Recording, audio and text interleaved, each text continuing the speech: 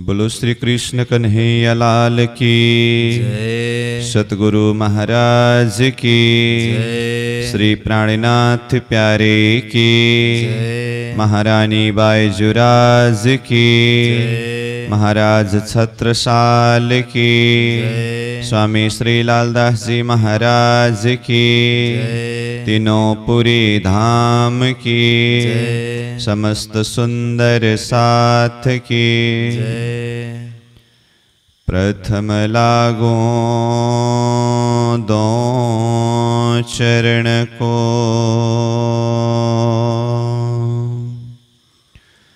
धनियन छुड़ायो छिन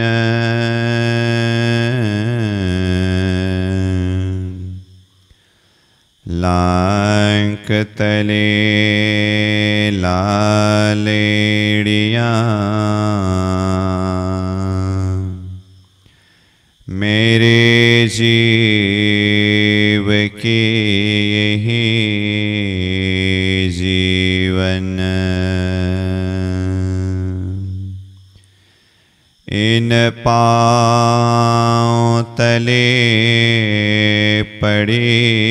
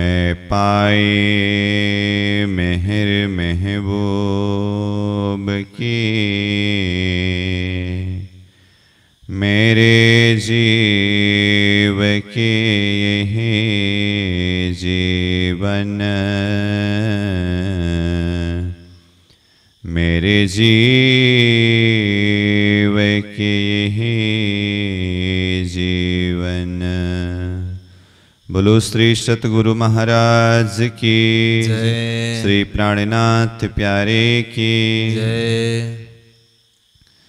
महमती कहे सुनो साथ जी ये पहर एक की बिरत। जो होत है ता ऊपर सोए बताओ जुगत सोए बताओ जुगत। अब कहूँ दूसरे पहर की, सेवा साथ की जेह जिन भांत जो होत है, हक मेहरा उतरी हक मेहरा उतरी अब कहूँ दूसरे पहर की। अक्षरातीत परब्रह्म परमात्मा धाम धनी श्रीराज जी के असीम अनुकंपा के द्वारा श्री कृष्ण प्रणामी धर्म निजानंद संप्रदाय अंतर्गत यह श्रावण महीना में एक महीना व्यापी बीतक चर्चा प्रसंग का आज हम तीसवां दिवस के पावन बैठक में उपस्थित हुए हैं। उपस्थित सद्धर्म प्राण धर्म शिरोमणि सुंदर साथ जी को सप्रेम प्रणाम करते हुए बीतक चर्चा के प्रसंग को हम आगे बढ़ाने जा रहे हैं। अक्षरातीत परब्रह्म परमात्मा धाम धनी श्रीराज जी की यह दिव्य लीला, परम धाम की महाकारण लीला के प्रसंग से सृष्टि के अंदर की लीला में ब्रजमंडल की लीला रास मंडल की लीला होते हुए, यह जागन के ब्रह्मांड में निजानंदाचार्य सतगुरु श्री देवचंद्र जी महाराज की लीला, उसके पश्चात फिर महामती प्राणीनाथ जी की लीला, और साथ में ब्रह्म सृष्टियों की लीला। ये सारे प्रसंग हम भी तक चर्चा के माध्यम से श्रवण करते करते श्री पाँच पद्मावतीपुरी धाम की बीतक जैसे प्रसंग में अष्ट प्रहर की लीला के विषय में कल हम श्रवण कर रहे थे। तो लालदास जी महाराज ने यह अष्ट प्रहर लीला वर्णन करने से पहले मंगलाचरण का प्रकरण रखा। तो ये मंगलाचरण का भाव क्या है? और ये सेवा के प्रति विशेष स्वरूप का पहचान होना होता है। तो इन भावों के ऊपर चर्चा करते हुए कल हमने प्रथम प्रहर की लीला के ऊपर सारांश रूप में चर्चा किया। महामती प्राणीनाथ जी सूर्य उदय के समय में अपनी सुख से ज्या पलंग से उठते हैं, सेवा के सुंदर साथ सेवा में हाजिर होते हैं, प्राणीनाथ जी को सुंदर श्रृंगार से सजाते हैं, फिर प्राणीनाथ जी हरवंश के घर में पधारते हैं। कुछ समय वहाँ पर रहने के पश्चात फिर वापस आते हैं। फिर वहाँ से माणी के घर में पधारते हैं और वहाँ से भी वापस आने पर एक प्रहर का समय व्यतीत होता है। अब नौ बजे का समय हुआ। तो ये प्रसंग हम कल श्रवण कर रहे थे। तो आज का हमारा प्रसंग दूसरा प्रहर से प्रारंभ होने जा रहा है। तो लालदास जी महाराज यहाँ कहते हैं अब कहो दूसरे पहर की सेवा साथ की जे जिन भांत जो होत है, हक मेहर उतरी यह अब दूसरे प्रहर के समय में जो कुछ भी सेवाएँ होती है और श्री राज्य की कृपा के द्वारा जो भी लीला हुई, अब मैं उस लीला को यहाँ वर्णन करने जा रहा हूँ। लाल जी महाराज इस तरह से कहते हैं तो दूसरा प्रहर का समय है नौ बजे से लेकर के बारह बजे तक। अब ये नौ से बारह बजे तक विशेष करके नौ बजे से चर्चा प्रारंभ होती है और ये नौ बजे से चर्चा प्रारंभ करके सवा ग्यारह बजे का समय तक ये चर्चा होती है। और जब दो घड़ी का समय बाकी रहता है, यह दूसरे प्रहर के फिर धाम धनी स्वरूप की रसोई आरोग्य की लीला होती है। तो रसोई आरोग्य से पहले झिलना लीला भी होती है, फिर उसके बाद रसोई आरोग्य की लीला। जैसे रसोई आरोग्य की लीला पूरी होती है, बारह बजे का समय यानी कि दूसरे प्रहर का समय भी पूरी होती है। ये तो मैंने सारांश रूप में बताया, इसका और कुछ चर्चा तो हम करेंगे। तो कल ही मैं ये अष्ट प्रहर की लीला की भूमिका के प्रसंग में और प्रथम प्रहर की लीला के सारांश वर्णन करते हुए ही कह रहा था पद्मावतीपुरी धाम की अष्ट प्रहर लीला को समझने के लिए साथ में हमें परमधाम की अष्ट प्रहर लीला को भी चिंतन करनी होगी। तो ये दूसरे प्रहर के समय में परम धाम में क्या लीला होती है, फिर पद्मावतीपुरी धाम में क्या लीला होती है, और दोनों के बीच में आपसी संबंध क्या है, इसको हमें देखना होगा। तो हम जरा सा परम धाम की लीला को भी चिंतन करें यह दूसरे प्रहर के समय में। जैसे ही तीसरी भौम की निरत लीला नौ बजे के समय में पूरी हुई तो अब दूसरे प्रहर का समय प्रारंभ हुआ। श्रीराज जी महाराज तीसरे भौम के झरोखा के उत्तराभिमुख सिंहासन में ही विराजते रहते हैं। श्यामा जी महारानी भी वहीं पर सिंहासन में विराजमान है। कई सखियाँ श्रीराज जी के इर्द गिर्द में बैठे हुए हैं और कई सखियाँ उधर पानों की बिड़िया बना रहे हैं। रसोई के बारी वाले जो जुत्था है, प्रथम भौम में रसोई बनाते रहते हैं। तो ये लीला चलती रहती है। और साढ़े दस बजे के समय तक, यानी कि डेढ़ प्रहर दिन व्यतीत हो जाने तक में पानों की बिड़ा बनाने वाले सखियाँ भी पान का बिड़ा बना करके नीलो न पीलो मंदिर में ला करके वो पान सजा करके रखते हैं। फिर ये सखियाँ भी श्रीराज जी श्यामा जी के पास में आकर के विराजते हैं। तो इस समय में धाम धनी श्रीराज जी क्या करते हैं? तो प्राणीनाथ जी ने कहा नौ बजे से आगे की लीला में श्रीराज बैठे, बाता करे, श्री श्यामा जी चित्त धरे, सैया अरस परस करे, हास लेवे, धनी जी को विविध विलास। देखिए यहाँ पर शब्द आया श्रीराज बैठे, बाता करे। धाम धनी स्वरूप श्रीराज जी महाराज, अपनी जुआन से प्रेम भरी मीठी मीठी बातें करते हैं। श्री श्यामा जी चित्त धरे श्यामा जी महारानी धाम धनी श्रीराज जी के वचनों को चित्त में धारण करते हैं। और यह लीला चलते चलते डेढ़ प्रहर दिन बीत जाने तक में पानों के बिड़े बनाने वाले सखियों का प्रसंग भी यहाँ पर जोड़ दिया। डेढ़ प्रहर चढ़ते दिन बीड़ी वाली सैया सबन बीड़ियों की छाव लेकर धरी पलंग तले चौकी पर करके तो इस समय भी धाम धनी मीठी मीठी बातें कर रहे हैं और वो जो सखियाँ हैं, सखियाँ क्या कर रहे हैं? सैया, अरस, परस, करे, हास, लेवे, धनी जी को विविध विलास। धाम धनी के साथ में विविध प्रकार के आनंद विलास ले रही है। घड़ी दो, एकता पर भई लाड़बाई आए यो कही। श्री धनी जी की आज्ञा पाऊँ तो या समय रसोई ले आओ तो डेढ़ प्रहर दिन बीत जाने पर फिर दो घड़ी समय व्यतीत हुआ। तो डेढ़ प्रहर में दो घड़ी बीतने का अर्थ सवा ग्यारह बजे का समय हुआ। तो देखिए, नौ बजे से लेकर के सवा ग्यारह बजे तक धाम धनी श्रीराज जी महाराज अपनी जुआन से मीठी मीठी बातें करते रहते हैं। श्यामा जी महारानी उसको श्रवण करके चित्त में धारण कर रहे हैं। सखियाँ भी आसपास में बैठ करके आनंद ले रही है। तो ये सवा ग्यारह बजे तक की परम धाम की लीला है। सवा ग्यारह बजने के बाद लाड़वाई आकर के धामधनी श्रीराज जी से अर्जी करते हैं कि, श्री धनी जी की आज्ञा पाओ तो या समय रसोई ले आओ। हे धामधनी जी, आप अगर आज्ञा देंगे तो अब रसोई लीला को प्रारंभ करें। श्री धनी जी आज्ञा करते हैं। अब सवा ग्यारह बजे के समय से रसोई लीला प्रारंभ होती है। तो प्रथम भौम से सारे रसोई के सामग्री शाक पान, व्यंजन, सखियाँ तीसरे भौम में ले जा करके धामधनी श्रीराज जी को प्रेम और भाव के साथ में रसोई आरोगाते हैं। जब धाम धनी की रसोई लीला पूरी होती है फिर श्रीराज जी महाराज सखियों को आज्ञा देते हैं, आप लोग भी चले जाओ प्रथम भौम में और रसोई आरोग करके आओ। सैया, तले आरोगन गैया, आरोग आए पान बिड़ी लैया। सैया भी प्रथम भौम में जा करके रसोई आरोग करके तीसरी भौम में आते हैं, पानों की बिड़ा लेते हैं तो 12 बजे का समय होता है। इस तरह से परम धाम में, दूसरे प्रहर के समय में ये लीला होती है।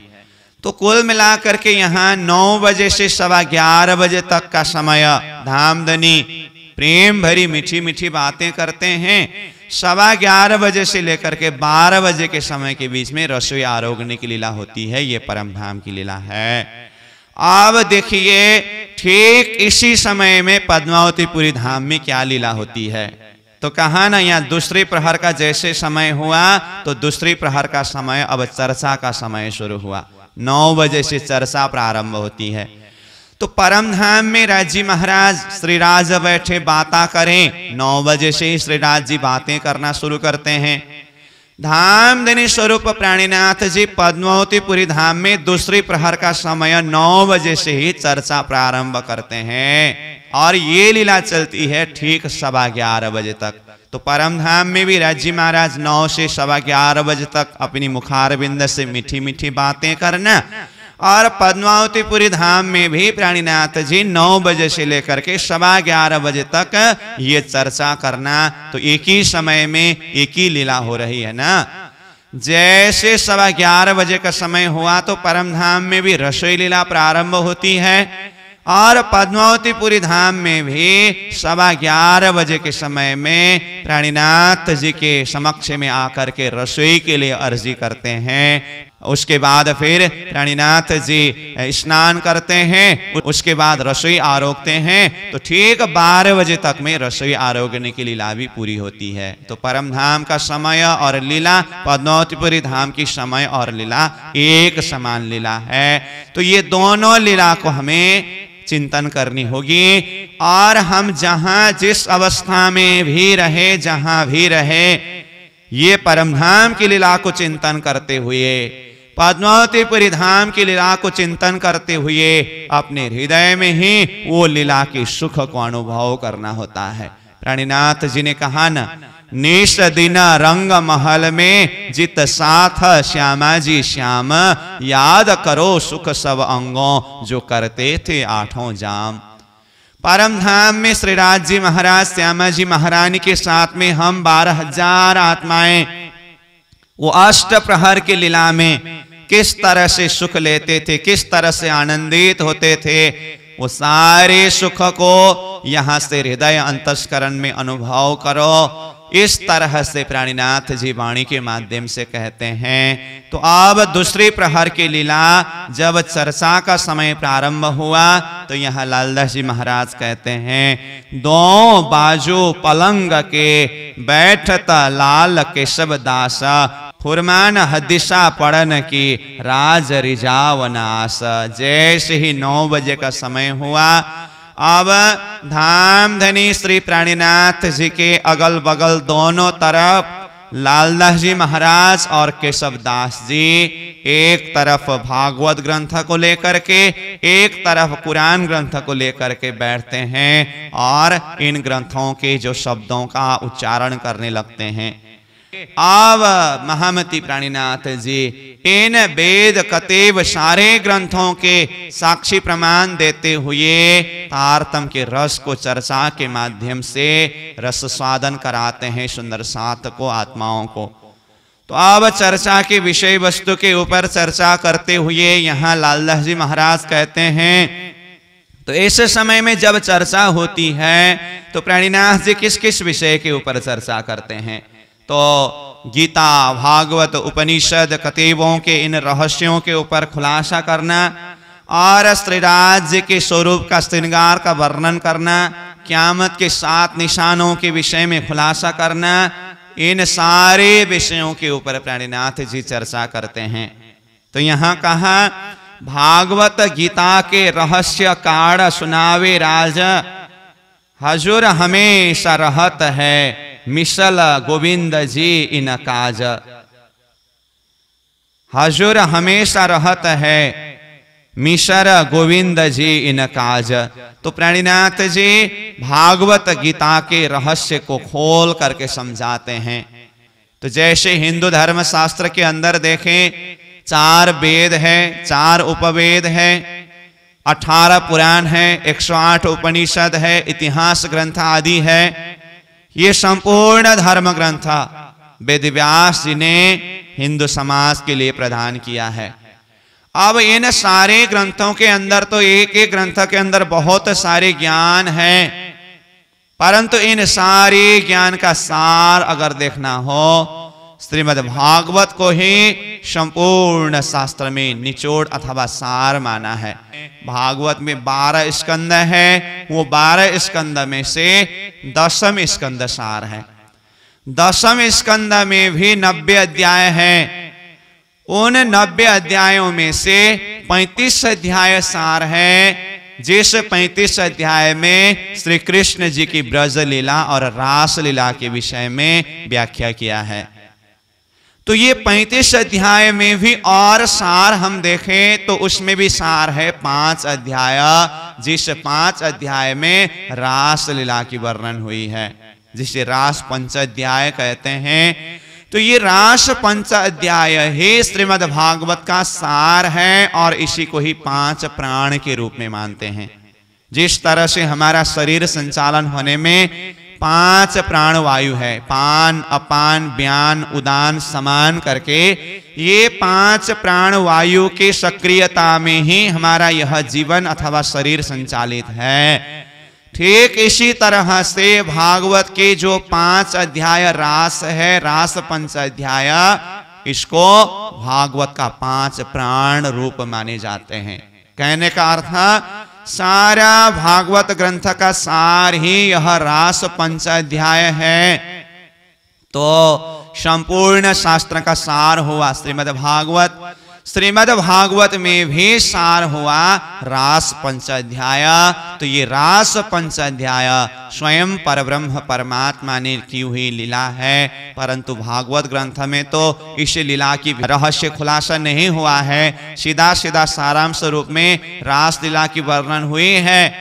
परंतु महामती प्राणीनाथ जी अब वाणी के माध्यम से इसे रास लीला के ऊपर चिंतन करके, इसे कृष्ण लीला के ऊपर चिंतन करके परब्रह्म परमात्मा अक्षरातीत धाम धनी श्रीराज जी महाराज ने अपनी दिव्य ब्रह्मात्माओं के साथ में की हुई वास्तविक रास लीला के खुलासा करके, उस लीला के चिंतन के द्वारा ही आत्मा को वो बेहद यानी कि परम धाम के अंदर प्रवेश करने का एक सूत्र बताते हैं।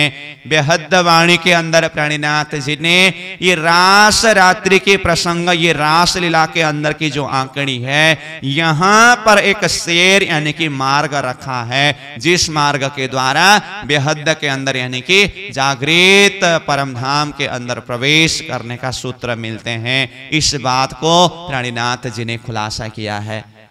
और साथ में श्रीमद् भागवत गीता की भी रहस्य प्राणीनाथ जी चर्चा के माध्यम से खोल खोल करके समझाते हैं। तो श्रीमद् भागवत गीता में अठारह अध्याय है। और 700 श्लोक हैं। एक एक श्लोक के अंदर बहुत सारे ज्ञान भरा पड़ा है। क्योंकि श्रीमद भागवत गीता तो स्वयं भगवान श्री कृष्ण जी के मुखार बिंद से उच्चारित ज्ञान है। प्राणीनाथ जी ने वो गीता जी के भी सार प्रसंग को पकड़ाया। तो 18 अध्याय में से सार तत्व को हम चिंतन करें। पंद्रहवीं अध्याय जो पुरुषोत्तम योग है, ये श्रीमद् भागवत गीता का सार तत्व है। ये पुरुषोत्तम योग के अंदर श्री कृष्ण जी ने वो उत्तम पुरुष का धाम का लक्ष्य बोध किया है। कहते हैं यद गत्वान निवर्तनते तद धाम परमम मम। जिस धाम में जाने के बाद लौट करके वापस आना नहीं पड़ता है, वो धाम ही मेरा धाम है करके गीता जी में श्री कृष्ण जी ने कहा। अब विचार करिए, जिस धाम में जा करके पुनः लौट करके आना नहीं पड़े, वो धाम कौन सा धाम है? स्वर्ग में जा करके तो फिर से लौट करके आना पड़ेगा। वैकुंठ में जाकर के भी फिर से लौट करके आना पड़ेगा। शास्त्र ने स्पष्ट रूप में कहा वैकुंठादीशु लोकेशु गमना गमनम प्रभु करके। तो ऐसे धाम, कौन सा धाम है जिस धाम में जाने के बाद लौट करके आना नहीं पड़ेगा? वो धाम है परम धाम। तो अक्षरातीत श्री कृष्ण जी के आवेश शक्ति के द्वारा पंद्रहवीं अध्याय पुरुषोत्तम योग में वो अक्षरातीत धाम का लक्ष्य बोध किया है। तो ये पुरुषोत्तम योग के माध्यम से वो अक्षरातीत परम धाम का लक्ष्य हमें पकड़ में आए।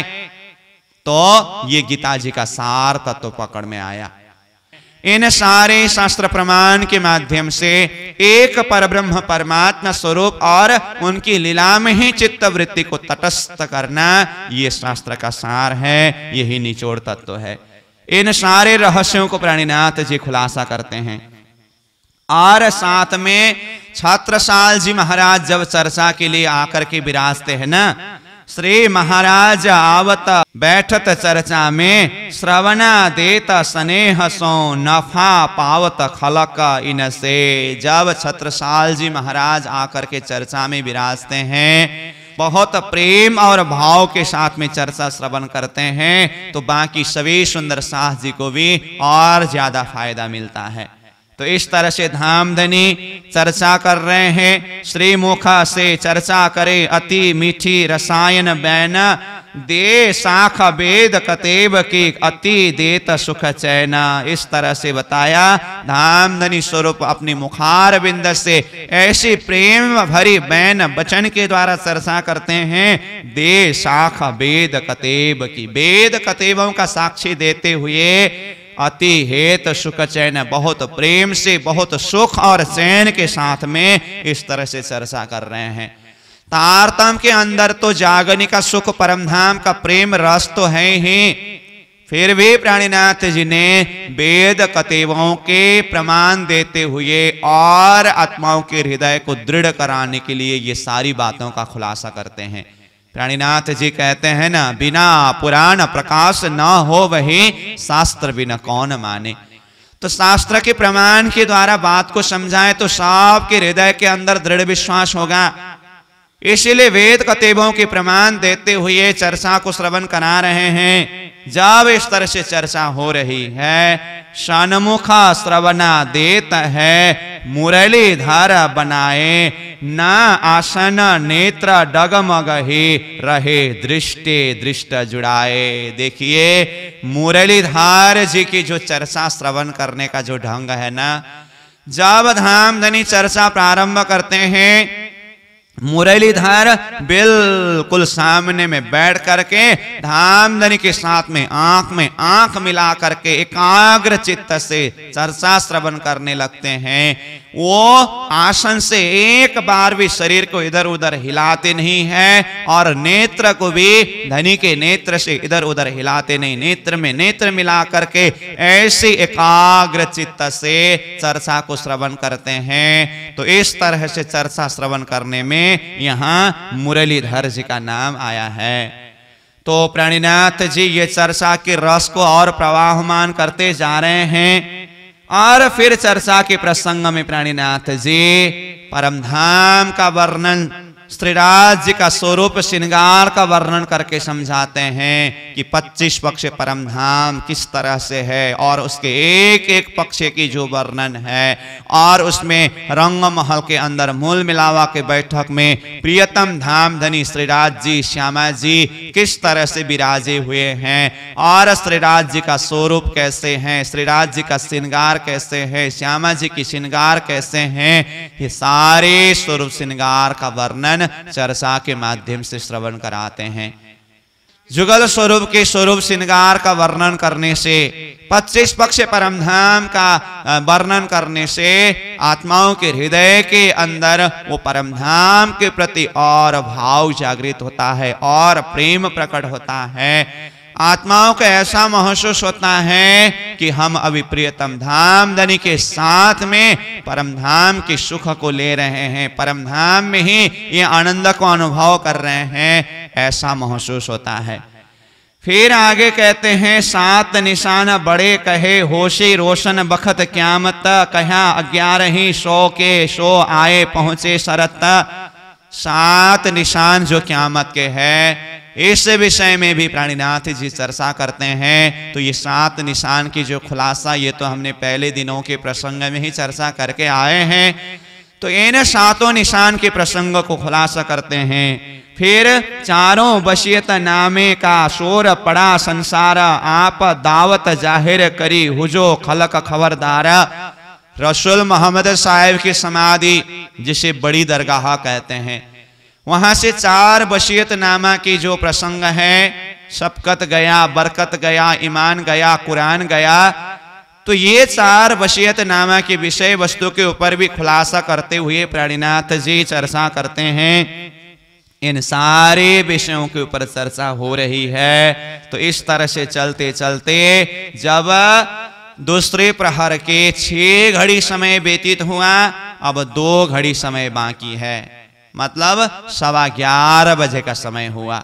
अब यहाँ पर लालदास जी महाराज कहते हैं, दोए घड़ी दोपहर में बाकी रही जब बाई हनुमंत अरज करे थाल ल्यावन की तब। जब सवा ग्यारह बजे का समय हुआ, अब यह दूसरी प्रहर का दो घड़ी समय बाकी है। हणवंत बाई नाम के सुंदर साथ आकर के प्राणीनाथ जी से अर्जी करते हैं कि हे धाम धनी प्राणीनाथ जी, रसोई का समय हुआ है, अगर आप रसोई के लिए आज्ञा देंगे तो अब रसोई लीला को प्रारंभ करें। हुकुम हुआ श्री राज का, लियाओ धोती, पोती, तेला, सेवा के शामिल मिलो, तब आओ तुम्हारी गैला। प्राणीनाथ जी चर्चा में ही मगन होते रहते हैं। जब रसोई के लिए आग्रह करते हैं तो प्रणीनाथ जी कहते हैं, स्नान के लिए जो सामग्री है, वो धोती पोती तेल सब ले और सारी सामग्री तैयार करने के बाद मुझे कहो, जब सारा सामग्री तैयार नहीं हुआ है तो मुझे फिर बीच में चर्चा क्यों भंग करा रहे हो? इस तरह से कहते हैं तो सुंदर साथ फिर अब धामधनी को स्नान के लिए जो भी सामग्रियाँ हैं, सारे तैयार करते हैं। उसके बाद धाम धनी अब चर्चा को बंद करके, अब आसन से उठते हैं, अब स्नान के लिए पधारते हैं। उठता राजा झिलन को बैठता चौकी ऊपर सखिया तेल लगावता चारों तरफों घेरा। धामधनी वो चर्चा के आसन से उठ करके स्नान के लिए चौकी के ऊपर विराजते हैं। अब स्नान से पहले सुंदर सात जी धाम धनी को तेल लगा करके शरीर को मर्दन करते हैं। तो इस तरह से तेल की सेवा मिने गोदावरी और गंगा राम कटोरी भर के ल्याव ही इनका इन सेवा में विश्राम। गोदावरी, गंगाराम नाम के सुंदर साथ कटोरी में तेल भर करके ले आते हैं और धाम धनी को ये तेल लगाने की सेवा करते हैं। तो इस तरह से तेल मर्दन के पश्चात फिर स्नान की लीला होती है। ये स्नान कराते समय एक लीला क्या होती है? तो यहाँ कहते हैं, घेर के ठाड़ी रहे, फेरता है गिरदवाए, जाला लोटा ललिता पर सब कपड़े दिए भिगाए। सुंदर सा चारों तरफ़ से घेर करके धाम धनी को स्नान कराते रहते हैं। तो उस समय में धाम धनी स्वरूप प्राणीनाथ जी ललिता को ऐसे ही पानी से भिगा देते हैं। तो ये ललिता कौन है? तो यही ललिता है जो मेड़ता के वित्त के प्रसंग में राजा राम भाई की बेटी ललिता के विषय में हमने चर्चा किया था। तभी कहा था, महामती प्राणीनाथ जी जब पद्मावतीपुरी धाम में पहुँचेंगे तो ये ललिता भी पद्मावतीपुरी धाम में ही पहुंचेगी और वो तो शरीर से वैसे कुब्जी है। तो उनको प्राणीनाथ जी इस तरह से स्नान करते करते जल छिटकते हैं। तो प्रतिदिन इस तरह से जल छिटकते छिटकते छिटकते छिटकते प्राणीनाथ जी की कृपा के द्वारा ललिता, दिन प्रतिदिन वो सुंदर होती जा रही है और शरीर की जो कुब्जापन है वो भी दूर होता जा रहा है। चलते चलते ललिता शरीर से पूर्ण रूप से ठीक हो गई। उनकी जो कुब्जीपन से सुंदरता प्रदान किया तो ललिता के नाम पर भी महामती प्राणीनाथ जी के द्वारा एक प्रकरण वाणी किरंतन ग्रंथ में अवतरण हुआ है कि ललिता के भाव, धामधनी स्वरूप के प्रति कैसे रहे? तो ये भाव से अवतरित वाणी में कहते हैं, वारी रे वारी, मेरे प्यारी, वारी रे वारी, टोक टोक कर, डारो में यातना, ऊपर कुंज बिहारी ये ललिता जो है, धामधनी स्वरूप के प्रति ऐसे कुर्बान हो जाती हैं। टोक टोक कर डारो में या तन में इस तन को, अपने हृदय को चित्त वृत्ति को, आत्मा को पूर्ण रूप से धाम धनी में समर्पित कर देता हूँ। ऊपर कुंज बिहारी कुंज बिहारी प्रियतम धाम धनी के चरणों में समर्पित का भाव व्यक्त करते हैं। वो कहते हैं, मुझे जैसे काली कुमत, कुच ऐसे कठिन कठोर वाली को भी धामधनी ने कृपा करके ऐसे सहजता के साथ में पार उतार दिया। तो सुंदर स्वरूप, जुगल स्वरूप धामधनी की मेरे ऊपर ऐसी अथाह कृपा है, अथाह मेहर है तो ललिता के नाम से ये भाव को ज़ाहिर किया, कोट बेर ललिता कुरवानी। इस तरह से ये वाणी अवतरण हुए हैं। तो ये ललिता के भाव से हैं। तो इस तरह सुंदर भाव से धामधनी की स्नान लीला हुई। स्नान के पश्चात फिर श्रृंगार करते हैं। इस स्नान के समय में फिर बाणी गायन करने वाले सुंदर साथ बाणी गायन कर रहे हैं। जैसे परम धाम में भी स्नान करते समय बाणी गायन करते हुए मारा, बालाजी चलो जमुना जल झीलिए, ऐसे शब्दों में रमते हुए स्नान करते हैं ना। तो पद्मावतीपुरी धाम में भी प्राणीनाथ जी की ये स्नान झीलना लीला हो रही है। तो वाणी गायन करने वाले सुंदर साथ वाणी गायन कर रहे हैं। केशव दास वाणी ले बाचत है समय इन। लाल दास कुरान के आयत करे रोशन। तो इधर केशव दास जी वाणी लेकर के बाँच रहे हैं, गायन कर रहे हैं, और भी सुंदर साथ वाणी गायन करने वाले गायन कर रहे हैं। लालदास जी महाराज, उस समय में फिर कुरान के अर्थ को खुलासा कर रहे हैं। इस तरह से फिर पीताम्बर पहनावत, लाल प्रेम दास महाराज, दो थुर में ओढ़ावत है खासा। फिर प्रणनाथ जी को पीताम्बर पहनाते हैं। पियो पावड़े चलता रतन बाई के, पनही जोड़े जड़ाव के, धरी बल्लभ दास आगे। अब धामधनी वहाँ स्नान की जगह से फिर रसोई के आसन तक पधारने की जब समय होती है तो वहाँ पर पावड़ा बिछाया हुआ है। धनी को फिर पनही पहनाते हैं। तो इस तरह से अब उस पावड़ा के ऊपर धाम धनी स्वरूप चल करके अब आसन में जाकर के विराजते हैं। अब बैजू महारानी स्वयं धाम धनी श्री प्राणीनाथ जी के लिए रसोई के थाली सजा करके लेके आते हैं।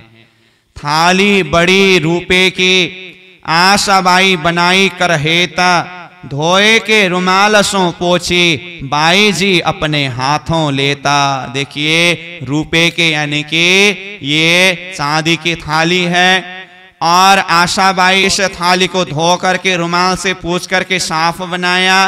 अब बाईजू महारानी स्वयं अति हेत से उस थाली में रसोई को सजाते हैं। फिर कटोरी कंचना चांदी के दस धरे फिरते धोए, पोछे, रुमाल, सो, वासते, तरकारी के तो कटोरी भी वहाँ पर सजाया है पकवान, सब्ज़ी, व्यंजन को रखने के लिए। और राजभोग थाली में धरत हेत कर प्यारा, और कटोरी सैयन को कहे हुजो होशियार।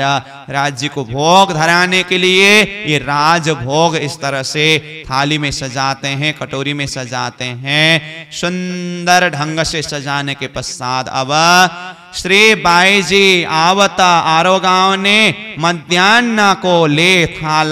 तुलसी राधा रुकमणी सैया घेर चले खुशाल बोलो श्री प्राणीनाथ प्यारे की। जय। ये मध्यान्ह का समय।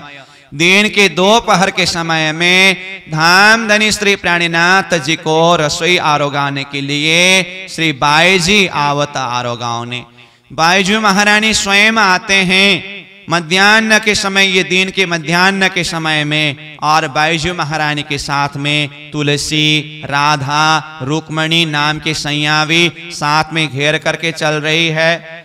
जब ये रसोई को लेकर के धाम धनी की सेवा के लिए बाईजू महारानी पधारती है ना, उस समय में बाईजू महारानी के लिए भी सुंदर साथ पावड़ा बिछाते हैं। श्री बाई जी के आगे पावड़ा बिछावत करना गादी बिहारी दास धरे, करे सेवा जान अपना। इस तरह से पावड़ा बिछाते हैं। और फिर चार जने सुंदर साथ ऊपर चारों तरफ़ से वो चंदवा लगा करके चलते हैं। तो जैसे ही धाम धनी के समक्ष में पहुँचे, अब बहुत प्रेम और भाव के द्वारा धनी को ये रसोई आरोगाते हैं। जब धाम धनी रसोई आरोगते हैं तो बाईजू महारानी बिल्कुल पास में सेवा में उपस्थित होती हैं। हमेशा ढीगा बैठता श्री बाई जी सेवा में। रूच के श्री राज माँगता, कहवत श्री बाई जी इनसे। तो बाईजू महारानी बिल्कुल पास में बैठ करके रसोई आरोगाते हैं। तो धाम धनी श्री प्राणीनाथ जी को जो चीज़ भी अच्छा लगे अथवा और उसको ग्रहण करने की इच्छा हो तो बहुत प्रेम भाव के साथ में वो वस्तु को मांगते हैं तो फिर प्रेम से उस वस्तु को प्रदान करते हैं। इस तरह से धामधनी की रसोई आरोग्य की लीला हो रही है। तो रसोई आरोगते समय यहाँ पर भाव क्या है देखिए। पद्मावतीपुरी धाम में प्राणीनाथ जी की रसोई आरोग्य की लीला हो रही है। लालदास जी महाराज यहाँ एक भाव, ऐसी गहरी भाव को यहाँ चर्चा कर रहे हैं। आरोगते प्रथम देत है बांटन को प्रसाद। जब आरोगते समय अथवा ये आरोगने के बाद अब सुंदर सात को प्रसाद बांटने के लिए ये प्रसाद देते हैं ना तो इधर प्राणीनाथ जी रसोई आरोगते हैं तो उसी समय में राजा राम हेत सो पावे इनको स्वाद। बोलो श्री प्राणनाथ प्यारे की। देखिए राजा राम भाई का नाम आया और कहा कि राजा राम हे तसो पावे इनको स्वाद।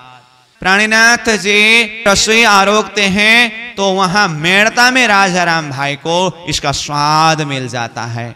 तो देखिए ये कैसे अद्वैत भाव है कैसे प्रेम है। तो इस तरह से सुंदर ढंग से, बहुत प्रेम और भाव के साथ में धामधनी की रसोई लीला हो रही है। तो ये रसोई आरोगते हुए बीज में जल आरोगते हैं। बाणी गायन करने वाले सुंदर साथ बाणी गायन कर रहे हैं। उसके पश्चात फिर माया राम इता आवता ले चिप्पी में चने, समारत स्नेह सो श्रीराज आरोग्य चुटकी से। तो मायाराम नाम के सुंदर साथ वो चिप्पी में चने लेकर के आते हैं तो फिर धामधनी थोड़ा सा उसको भी लेकर के आरोगते हैं, फिर वो सुंदर साथ के लिए बांट देते हैं। दूधा दधी शिखरन श्री बाई जी आरोगावत कर हेता, आरोग रहे पीछे, बांटने को कवल देता। दूध ददी ये बाईजू महारानी प्राणीनाथ जी को आरोगने के लिए हाजिर कराते हैं। फिर वो भी प्राणीनाथ जी आरोगते हैं, फिर सुंदर सात को प्रसाद बांटने के लिए देते हैं। ये सेवा लालबाई के देत प्रसाद श्री राजा, वास्ते सब दुल्हीन के और आवे सबके काजा। तो लालबाई फिर सबको प्रसाद बांटते हैं। तो इस तरह से धामधनी श्री प्राणीनाथ जी की सुंदर रसोई लीला के प्रसंग यहाँ पर वर्णन किया है। फिर कभी कभी ये रसोई लीला के बीच में ही महाराज छत्रसाल जी आ पहुँचते हैं ना? महाराज आरोगा वही अपने हाथ तंबोला श्री राज रीज के कहता है। कोई नहीं सेवा इन तोला। जब महाराज छत्रसाल जी आ पहुँचते हैं तो धाम धनी की रसोई लीला पूरी होने के पश्चात ये तंबोल आरोगाते हैं अपने हाथ से। जब छत्रसाल जी अपने हाथ से धनी को तंबोल आरोगाते हैं तो धाम धनी स्वरूप प्राणीनाथ जी कहते हैं, इसके समान सुख तो दूसरा कुछ है ही नहीं। इस तरह से वो प्रसन्न होते हैं। आरोगत आनंद सो बातें करत बनाए। सेज समारी पौड़न की सखिया सेवन को इताए। अब इस तरह से धामधनी आरोग रहे हैं तो उसी समय में फिर उस तरफ़ सुंदर साह जी धामधनी के अब सेज्या को संवारने लगे। मिलाने लगे, क्योंकि अब ये रसोई लीला पूरी होते ही बारह बजने वाला है और तीसरी प्रहर का समय शुरू होने वाला है। अब तीसरी प्रहर का समय तो धामधनी की पौड़ावनी लीला होनी है। तो पहले से ही सुंदर सात उधर सेज्या को संहारने लगते हैं। सेज बिछाई सनेहसों ये जो द्वारका दासा प्रेम दास दूजी तरफ़ और सेवे साथ जो खासा अब धामधनी की वो सेज्या को तैयार करने के लिए द्वारिका दास जी उपस्थित है। दूसरी तरफ़ फिर प्रेम दास जी उपस्थित है। इस तरह से धामधनी के लिए सुंदर ढंग से सेज्या को सजाते हैं। चारों तरफा बिछाए पावड़े, प्रदक्षिणा के गिरदा लटके मटके चलता, मोमिन सेवे करा मरदा अब रसोई आरोग करके पूरी होने के पश्चात धामधनी स्वरूप वहाँ से उठ करके लटके मटके चाल में चलते हैं तो चारों तरफ़ पावड़ा बिछाए हुए हैं। ऐसे चालों में चलते हुए सुख सेज्या के तरफ़ पधारते हैं तो उस समय भी बाणी गाने वाले सुंदर साध बाणी गायन कर रहे हैं। तो सुंदर सुख सेज्या सजा करके तैयार किया तो लटके मटके चलता, आए बिराजे पलंगा, चरणों लाग पीछे फिरी श्री जी के अर्धांगा। जो धाम धनी के अर्धांगिनी सुंदर सात जो है, वहाँ तक जो भी सेवा में उपस्थित हुए थे धाम धनी स्वरूप जाकर के अब पलंग में विराजमान हो गए। सुंदर सात जो धनी की अंगना, धनी को प्रणाम करके वहाँ से विदा होते हैं। फिर धनी को अब पौड़ावनी की सेवा के लिए जो भी सुंदर साथ है, ये लोग वहाँ उपस्थित होते हैं। इस तरह से दो प्रहर का समय पूरी होती है, यानी कि बारह बजे का समय हुआ, ये दूसरी प्रहर की लीला प्रसंग है।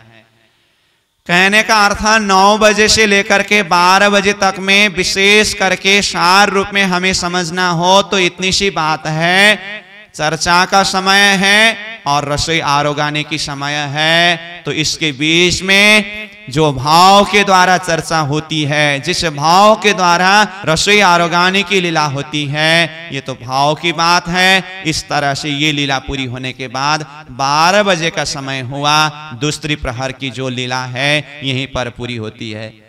अब लालदास जी महाराज तीसरे प्रहर की लीला को प्रारंभ करते हैं। तो अब ये तीसरा प्रहर का समय जो है, बारह बजे से लेकर के तीन बजे तक का समय है। अब हम पहले परमधाम की तीसरी प्रहर की लीला को चिंतन करें। फिर यहाँ पद्मावतीपुरी धाम में प्राणीनाथ जी की तीसरी प्रहर की लीला चिंतन करें।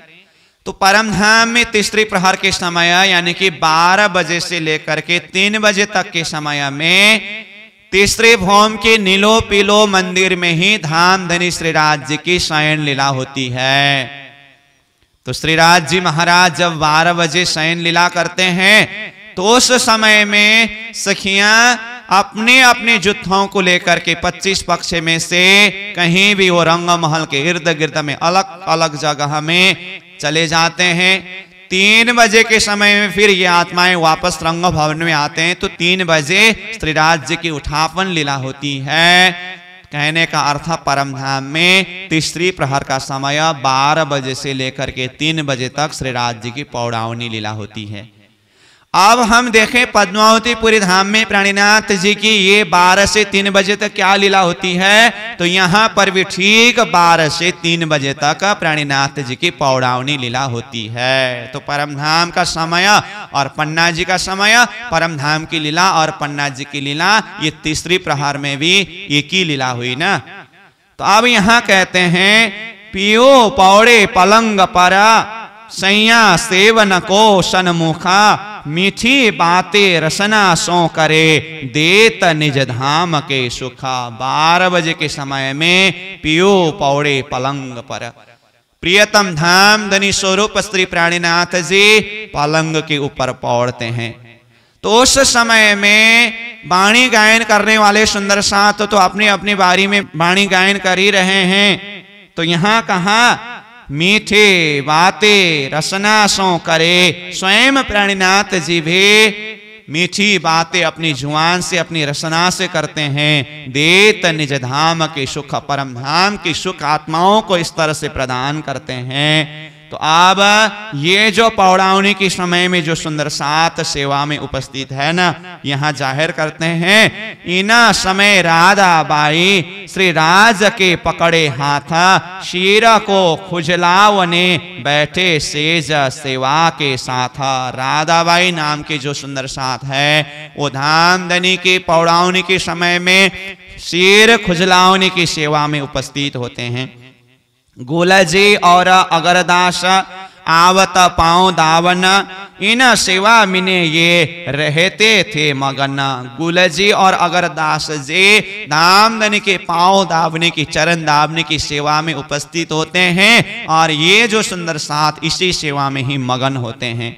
मया राम इतना आए के बाणी सुनावत धाम, श्री राजा राज़ी होए के सब पूरे मनोरथ काम। मया राम नाम के सुंदर साथ वहाँ पर उपस्थित होकर के धाम धनी श्री प्राणीनाथ जी को परम धाम की बाणी गायन करके सुनाते हैं। मया राम जब इस तरह से बाणी गायन करने लगते हैं तो धाम धनी स्वरूप प्राणीनाथ जी बहुत ही प्रसन्न होते हैं। उनकी मनोकामना को भी पूरी कर देते हैं।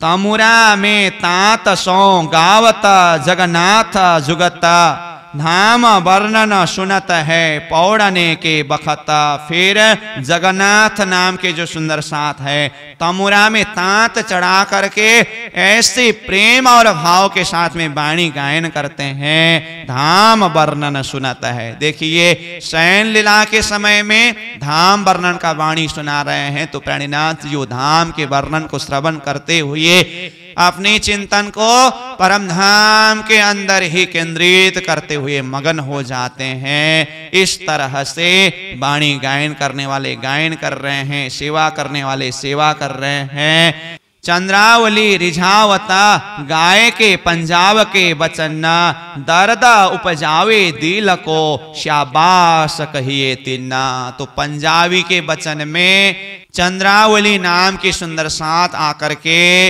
ऐसे दर्द भरी भाव को प्रकट करने वाले वचन को गाते हैं, शब्दों को गाते हैं। प्राणीनाथ जी बहुत प्रसन्न होकर के, खुश होकर के शाबाश कहते हुए उनको ये भाव को प्रकट करके दिखाते हैं। और भी बहुत सारे सुंदर साथ आकर के यहाँ वाणी गायन करते हैं।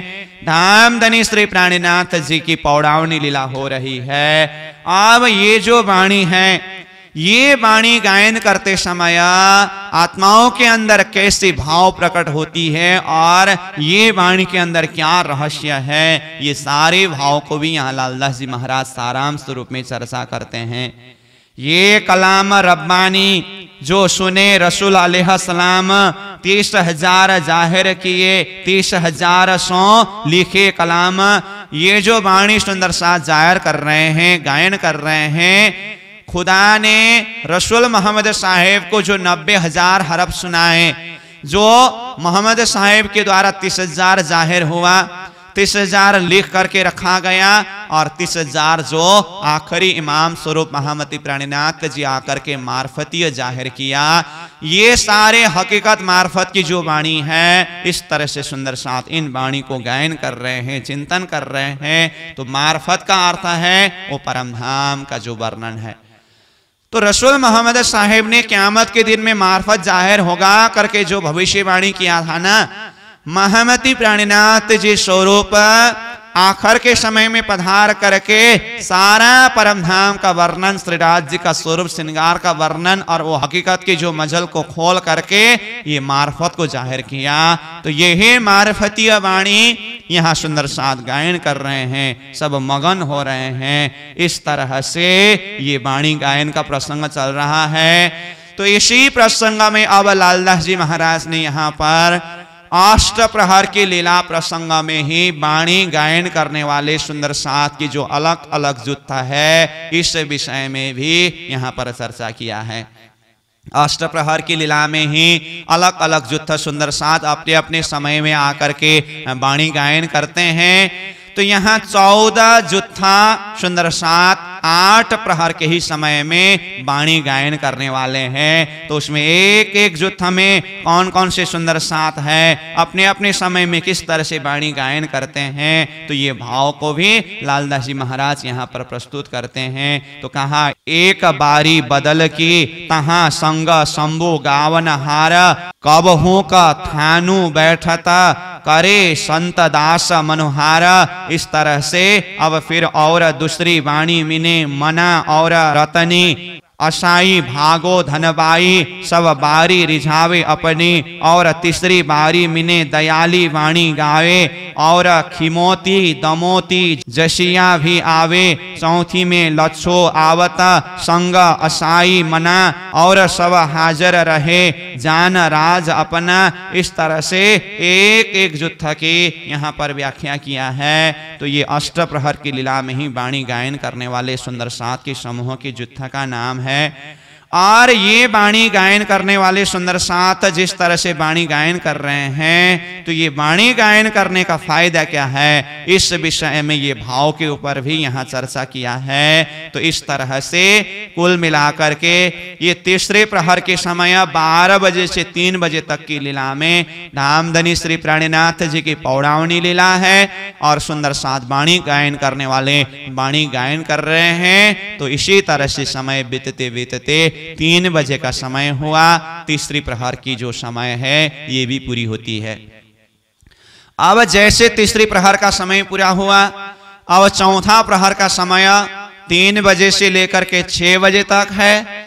अब ये चौथी प्रहर की लीला इस विषय में चर्चा करते हुए अब कहते हैं, अब कहूँ पहर चौथे की बीतक जो सैयना सो दिल के कानों सुनियो, करत हूँ रोशन। अब चौथी प्रहर की लीला वर्णन करने जा रहा हूँ। जिसको दिल के कान से श्रवण करिए, जिस लीला को मैं यहाँ पर रोशन करने जा रहा हूँ। तो कहा? एता एक पहरा, पियो, पौड़ता आए सेवन को सब साथ, जल लोटा भरा ल्याइया, छबिल दास अपने हाथ। जैसे धाम धनी एक प्रहर समय पौड़ते हैं तो ठीक तीन बजे के समय में अब फिर धाम धनी की उठापन सेवा के लिए जितने भी सुंदर साथ हैं, वे लोग अपने समय में हाजिर होते हैं। तो सर्वप्रथम छबिल दास जी लोटा में जल लेकर के आते हैं। श्रीराज उठ करके अब कोगला करते हैं और पीक दाने में उसको डालते हैं। शंकर दास जी फिर वहाँ पर उपस्थित होते हैं। माणिक दास भी दौड़ करके वहाँ पर पहुँचते हैं। अब जो भी सुंदर साथ तीसरे प्रहर के समय में वहाँ सेवा में उपस्थित थे। उन लोगों को वहाँ से विदा दे देते हैं और चौथी प्रहर की सेवा के बारी वाले सुंदर साथ वहाँ उपस्थित हो जाते हैं। श्री राज राजा देत है। आए हजूरी सब शंकर सेवे स्नेह सो, मोरसल लिए तब तो श्री राज रजा देते हैं मतलब विदा देते हैं तो किसको? तीसरे प्रहर के समय में जो सेवा में उपस्थित थे, उन लोगों को विदा दे देते हैं। और चौथी प्रहर के समय की सेवा वाले सुंदर साथ आ जाते हैं तो फिर शंकर दास आकर के हाथ में मोरसल लेकर के सेवा में उपस्थित है। हजूर हमेशा रहे। ये जो केशव दासा, कंचन, मुठे, मोरछाला, स्नेह, सो सेवे खासा। फिर केशव दास जी भी, वो मोरसल की सेवा में उपस्थित हो जाते हैं। फिर वल्लभ गंगा दास ये भी वहाँ पर उपस्थित होते हैं। तो ये सारे सुंदर सात जो जो भी यहाँ सेवा के लिए बताए हैं, सबका नाम और सबकी सेवा को यहाँ पर वर्णन किया है। तो ये सारे सुंदर सात उपस्थित होकर के अब ये तीन बजे के समय में प्राणीनाथ जी को बहुत सुंदर भाव से उठापन कराते हैं। अब उठापन के पश्चात फिर धनी को सुंदर श्रृंगार से सजाते हैं। तो अब ये तीन बजे से लेकर के छह बजे तक का जो समय है, अब धामधनी की उठापन लीला है। तो फिर जरा सा हम परम धाम की लीला को भी चिंतन करें, क्योंकि मैं बार बार बोल रहा हूँ, परम धाम की लीला और पन्ना जी की लीला दोनों को हम साथ साथ में देखते जाएँगे। तो परम धाम में भी तीन बजे तक तो धाम धनी की पौड़ावनी लीला हुई। ठीक तीन बजे वनों में गए हुए सखियाँ रंग भवन में वापस आकर के धनी की उठापन लीला होती है, ये तीन बजे के समय में। अब उठापन के पश्चात फिर श्रृंगार से सजाते हैं। श्रृंगार लीला होने के बाद अब छठी भौम के सुखपाल तीसरी भौम के झरोखा में उपस्थित होते हैं। अब सुखपाल में श्रीराज जी, श्यामा जी, बारह हज़ार सखिया, जो छह हज़ार सुखपाल है। तो एक एक सुखपाल में दो दो सखिया। इस तरह से अब पच्चीस पक्ष परम धाम के अंदर मन चाहे कहीं भी सैर के लिए चले जाते हैं। छह घड़ी समय तक वनों में लीला होती है। जब दो घड़ी समय बाकी रहता है, फिर एक घड़ी में झीलना लीला और एक घड़ी में श्रृंगार लीला होती है। कहने का अर्थ परमधाम के अंदर ये चौथी प्रहर तीन बजे से लेकर के छह बजे तक में तीसरी भौम में राज्य की उठापन, फिर श्रृंगार लीला, उसके बाद वन बिहार लीला, छह घड़ी तक वन में रामत और एक घड़ी में झिलना, एक घड़ी में श्रृंगार लीला, ये परम धाम के चौथी प्रहर की लीला है। अब पद्मावतीपुरी धाम में महामती प्राणीनाथ जी की सेवा और उनके लीला प्रसंग में जिस तरह से परम धाम में तीन बजे श्रीराज जी की उठापन लीला होती है, ठीक इसी तरह से पन्ना जी में धाम धनी स्वरूप श्री प्राणीनाथ जी की उठापन लीला होती है। तो जिस तरह से वनों में गए हुए सखियाँ धनी की सेवा के लिए वापस आकर के हाजिर होते हैं ना सुंदर भी धनी की उठापन सेवा के लिए, श्रृंगार सेवा के लिए उपस्थित होते हैं। तो तीन बजे धनी की उठापन लीला होने के पश्चात अब धाम धनी को सुंदर श्रृंगार से सजाते हैं। सुंदर सात जी तो यहाँ कहा?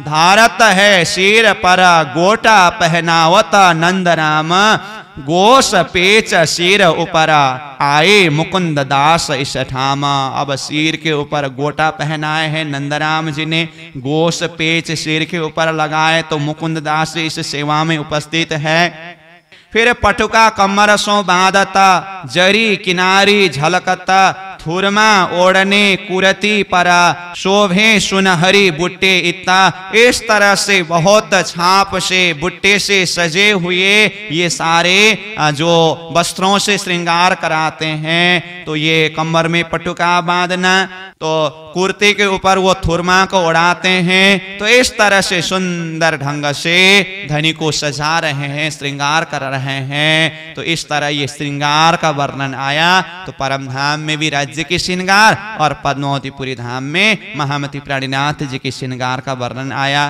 अब श्रृंगार से सजने के बाद धाम धनी यहाँ से उठ करके फिर तखत में जाकर के विराजते हैं। तो वहाँ पर धाम धनी को विराजमान कराने के लिए पहले ही सुंदर साथ वहाँ पर सुंदर ढंग से वो आसन को सजाए रखते हैं। धारे दो बाजो दो तकिए, ऊपर पावड़े चलता पागथिये चरण धार के आए कुर्सिये विराजत धाम धनी के लिए वहाँ पर कुर्सी सजा करके रखे हैं। दोनों तरफ़ तकिया लगाए हैं और वहाँ तक जाने के लिए वहाँ पर पावड़ा बिछाए हुए हैं। पावड़ा के ऊपर चलते हुए धाम धनी स्वरूप आकर के अब कुर्सी के ऊपर विराजते हैं। जैसे ही धाम धनी आकर के कुर्सी में विराजमान हो गए फिर चरण पखालने को छबिल दास ल्यावत सुंदर जल, मुकुंद दास खास पखालत, ये सेवत दिल निर्मल। फिर छबिल दास, नामधनी के चरण पखालने के लिए, चरण धोने के लिए सुंदर जल लेकर के आते हैं। फिर मुकुंद दास जी वहाँ पर चरण पखालने की सेवा में उपस्थित है, फिर निर्मल दास भी उस सेवा में उपस्थित है। तो धाम धनी को इस तरह से चरण धुला करके सेवा करते हैं।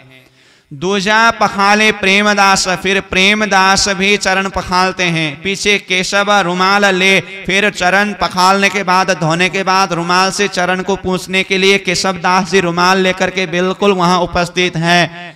नारायण ता ऊपर रुमाल से पूछे, फिर नारायण दास जी और रुमाल को लेकर के धनी के चरण को पूछते हैं, इस तरह धाम धनी की सेवा हो रही है।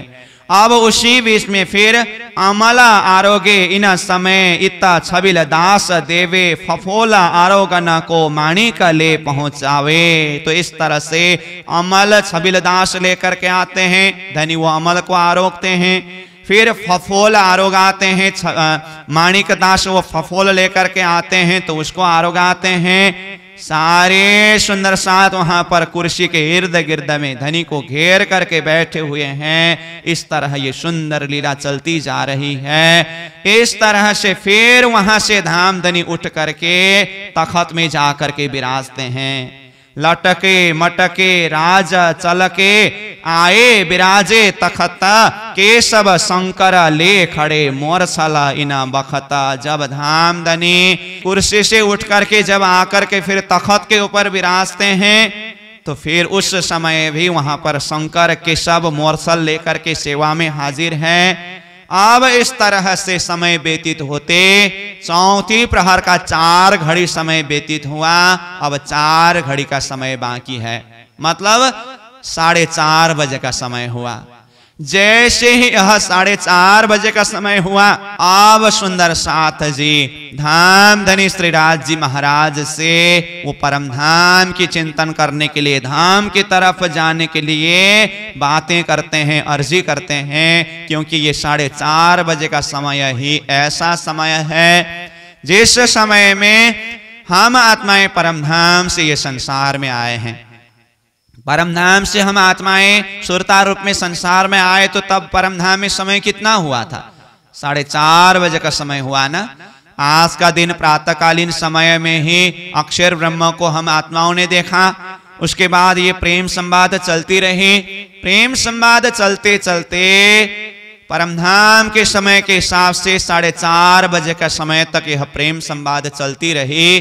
जैसे ही साढ़े चार का समय हुआ तो हम आत्माओं की सुरता संसार की तरफ़ लौट गया और यहाँ पर आकर के हम भूल बैठे थे।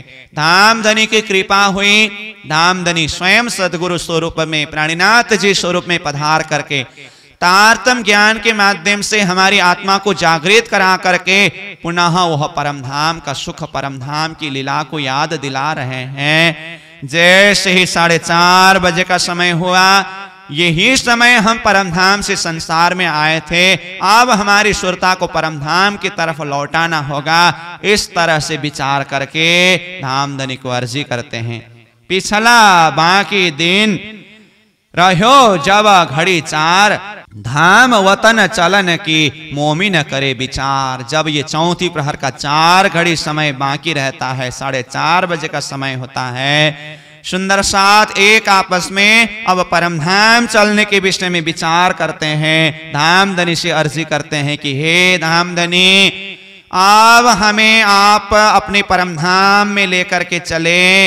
हमें परमधाम में अब परात्म स्वरूप में उठ करके परमधाम का सुख अनुभव करना है। तो इस तरह से ये अर्ज़ के भाव भी, परमधाम के चिंतन के भाव भी होती है। फिर इसी बीच में महाराज छत्रसाल जी आप पहुँचते हैं। श्री महाराज आवत सब सेवा में शामिल, अति स्नेह सो सेवा करे, पाक दिल निर्मल। देखिए छत्रसाल जी महाराज जब उपस्थित होते हैं तो हर प्रकार से धाम धनी की सेवा में स्वयं छत्रसाल जी खड़े होते हैं, वो अपने हाथ से धनी की सेवा करते हैं।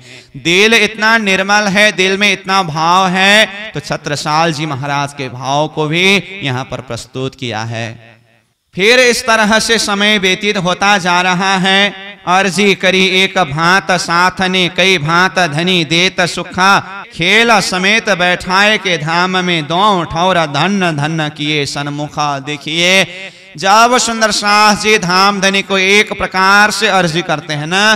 धामधनी प्रकार प्रकार से अलग अलग प्रकार के सुख देते हैं। खेल के बीच में भी धनी ने सुख दिया और परमधाम के अंदर भी सुख दिया तो धनी ने हम आत्माओं को दोनों ठौर का सुख दिया। तो इतवी धन धन्ना उतवी धन धन्ना इस तरह से आत्माओं को हर प्रकार से सुख दे रहे हैं। इस तरह से अब प्रियतम धाम धनी श्रीराज जी महाराज आत्माओं को सुख दे रहे हैं। अब आत्माएँ परमधाम की चर्चा करते, धनी के साथ में ये अर्जी करते करते समय व्यतीत होता चला गया।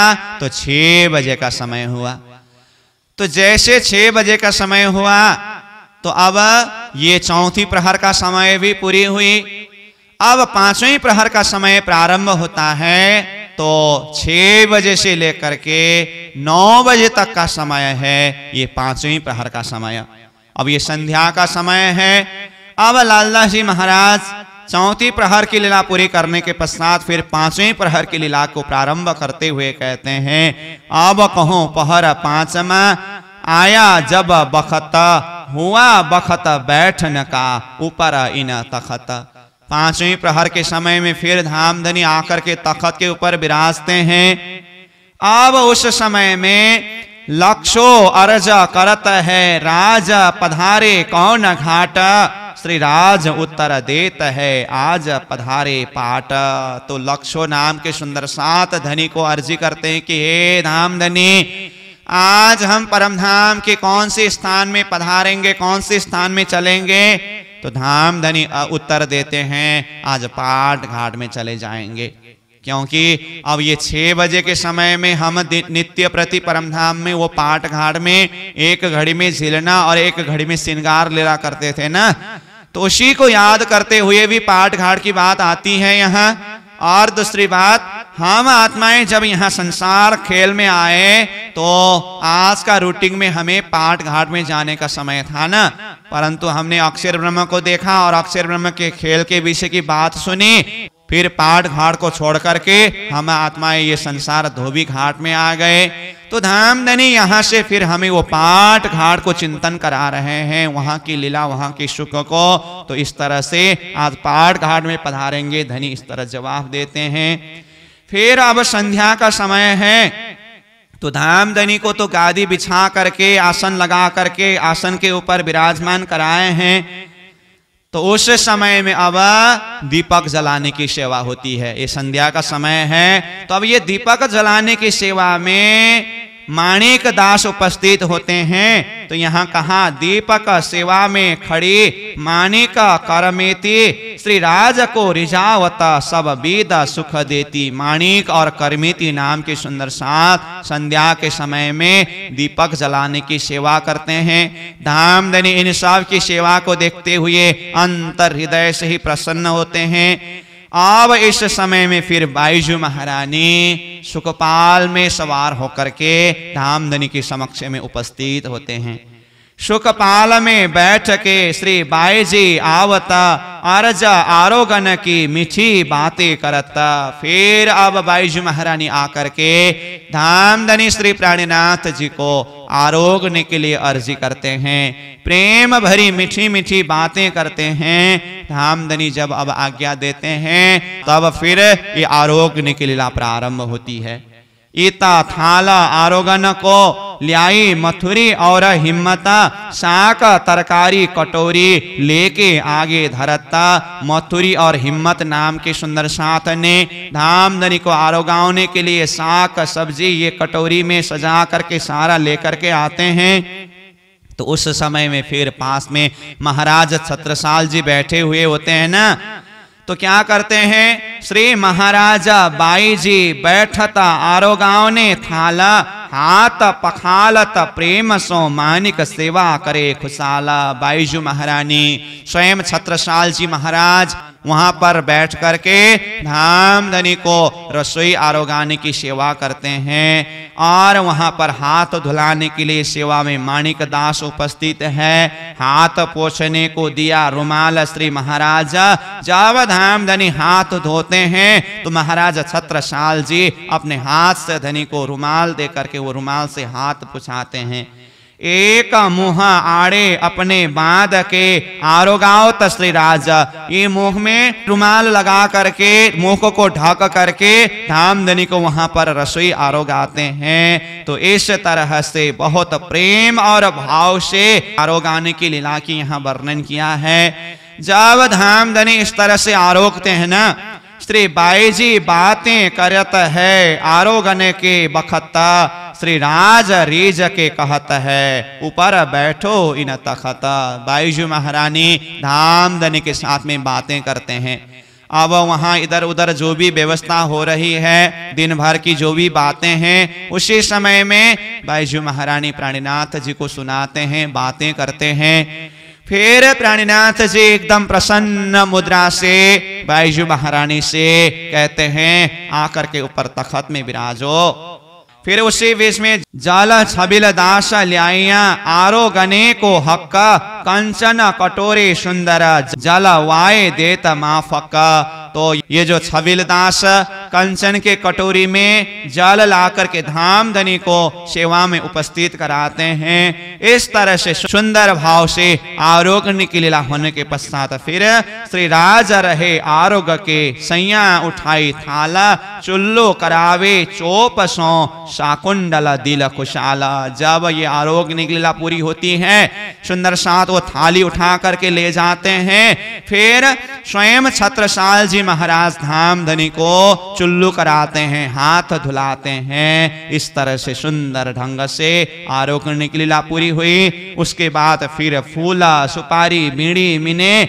आरोगावे, बाई कल्याण, ये सेवा श्री बाई जी की दई सेवक अपनो जाना। ये बीड़ी पानों की, बीड़ी आरोगाने की सेवा होती है। फिर बीड़ी वालत श्री बाई जी श्री महाराज अपनी देश पाड़ी मानिक छबीला और सेवत महारानी, ये सब सुंदर साथ मिलकर के ये सब सेवा में उपस्थित है। इस तरह से चलते चलते फिर आगे समय निकलता जा रहा है। इस तरह से एक तरफ़ धाम धनी की रसोई आरोग्य किला हो रही है तो सुंदर सात उधर कोई परम धाम के चिंतन में लगे हुए हैं, कोई वाणी गायन करने वाले गायन कर रहे हैं। तो यहाँ कहा चितवनी की बारी वालों ने भोग दियो बखत इन्ना, गावत संध्या को अवसर, पोहर रातलों रोशन। देखिए, एक तरफ़ सुंदर साथ, संध्या का अवसर, जो संध्या के समय में ये वाणी गायन कर रहे हैं, जैसे कहा ना हो संध्या को अवसर श्री राज श्यामा बैठे, श्रृंगार कर, इस तरह से हम सेवा पूजा में जो गाते हैं ना तो ये जो वाणी और भी कई वाणी, ये संध्या के अवसर की वाणी गायन करने वाले गा रहे हैं, और उसी में फिर श्री राज्य की श्रृंगार, श्यामा जी की श्रृंगार की चिंतन भी हो रही है तो यहाँ पर श्रृंगार का वर्णन का प्रसंग भी है कि वो वाणी के अंदर राज्य के स्वरूप श्रृंगार का वर्णन किस तरह से समावेश हो रहा है इस तरह से चलते चलते अब फिर आरती का समय हो जाता है। तो अब धाम धनी श्री प्राणीनाथ जी को सुंदर सात जी बहुत प्रेम और भाव से आरती करते हैं।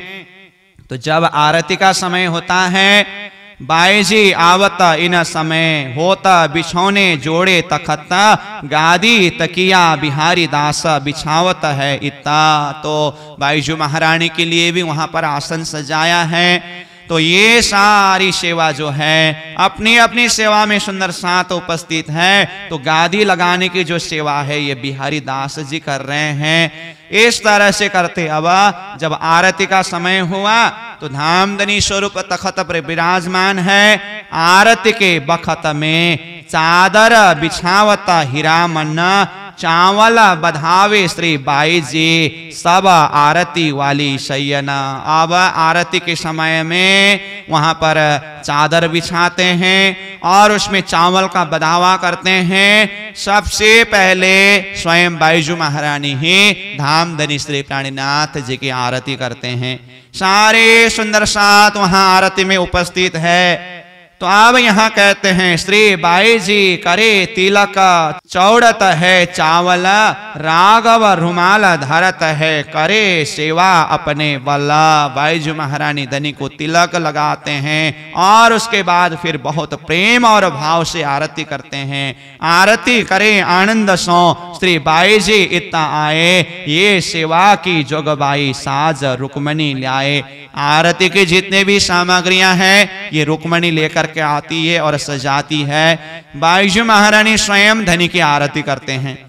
रूपे की पाँच घड़ी आरती, गिरदा दीपक जोत बत्तीसा, करे फिरती प्रकाश चहु दिशा, सेवत मन परतीता, इस तरह से सुंदर आरती सजा करके एकदम हृदय में विश्वास और श्रद्धा के साथ में आरती कर रहे हैं। जैसे ही आरती करने लगते हैं तो सुंदर साथ बहुत प्रेम और भाव के साथ में गायन करने वाले गायन कर रहे हैं। उधर बाजा बजाने वाले बाजा बजा रहे हैं। तो ये सुंदर भाव से जब आरती प्रारंभ होती है तो स्वयं बाईजू महारानी आरती करते हैं, कंचन, थाल, चौमुख, देवला, दीपक, ज्योत प्रकाशे, करे आरती, श्री जियावर रानी, आनंद, अंग उल्लासे इस तरह से बाईजू महारानी ने आरती करने के पश्चात फिर अब धाम धनी श्री प्राणीनाथ जी बाईजू महारानी को ऊपर तखत में आकर के बैठने के लिए आग्रह करते हैं। तो फिर अब धनी की आज्ञा के द्वारा बाईजू महारानी भी जाकर के आसन में आसीन होते हैं। फिर अब जुगल स्वरूप की आरती सुंदर सात बहुत प्रेम और भाव से करते हैं। जुगल स्वरूप सुंदर, सुखदायक, श्याम धाम धनी सोहे, मंगल रसिक वदन की शोभा निरखंता मन मोहे, सखिया निरत करे और गावे, उमंग अंग अपार, ताल मृदंग, झांझ जंत्र बाजे, सखिया बोले जय जयकार। बदावे मुक्ता फल सखिया, स्त्री जियावर श्याम सुहागे, ताना मना जीव निछावर किन्हो श्री इंद्रावती चरणों लागे, इस तरह से सुंदर भाव से वाणी को गायन करते हुए आरती कर रहे हैं। तो देखिए, यहाँ पर आरती के समय में शब्द क्या क्या आया?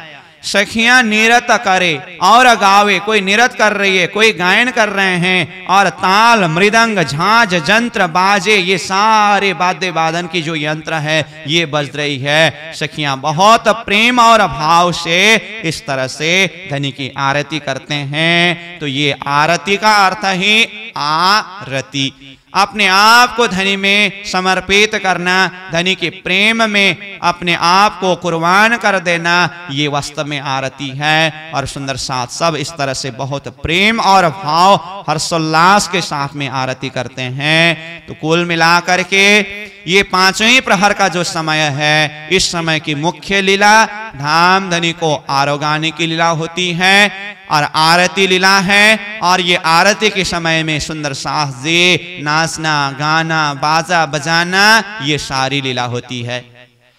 अब यहाँ पर पन्ना जी में जो आरोगान की लीला और ये आरती के समय में सुंदर साथ, बहुत हर्षोल्लास के साथ में नाचना, गाना, बजाना, ये सारी लीला हो रही है।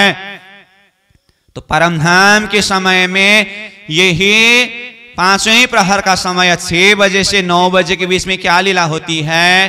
परमधाम में भी रसोई आरोग्य की लीला होती है और निरत लीला होती है।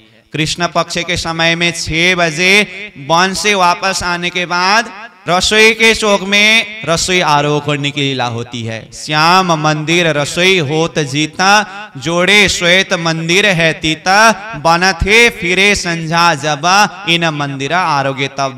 करके ऐसा वर्णन आया ना संध्या के समय में वन से जब वापस आते हैं तो रसोई के चौक जो रंग महल के प्रथम भवन में है, श्याम मंदिर में रसोई बनते हैं और शिणी के मंदिर में रसोई आरोहण की लीला होती है। इस तरह से वर्णन किया।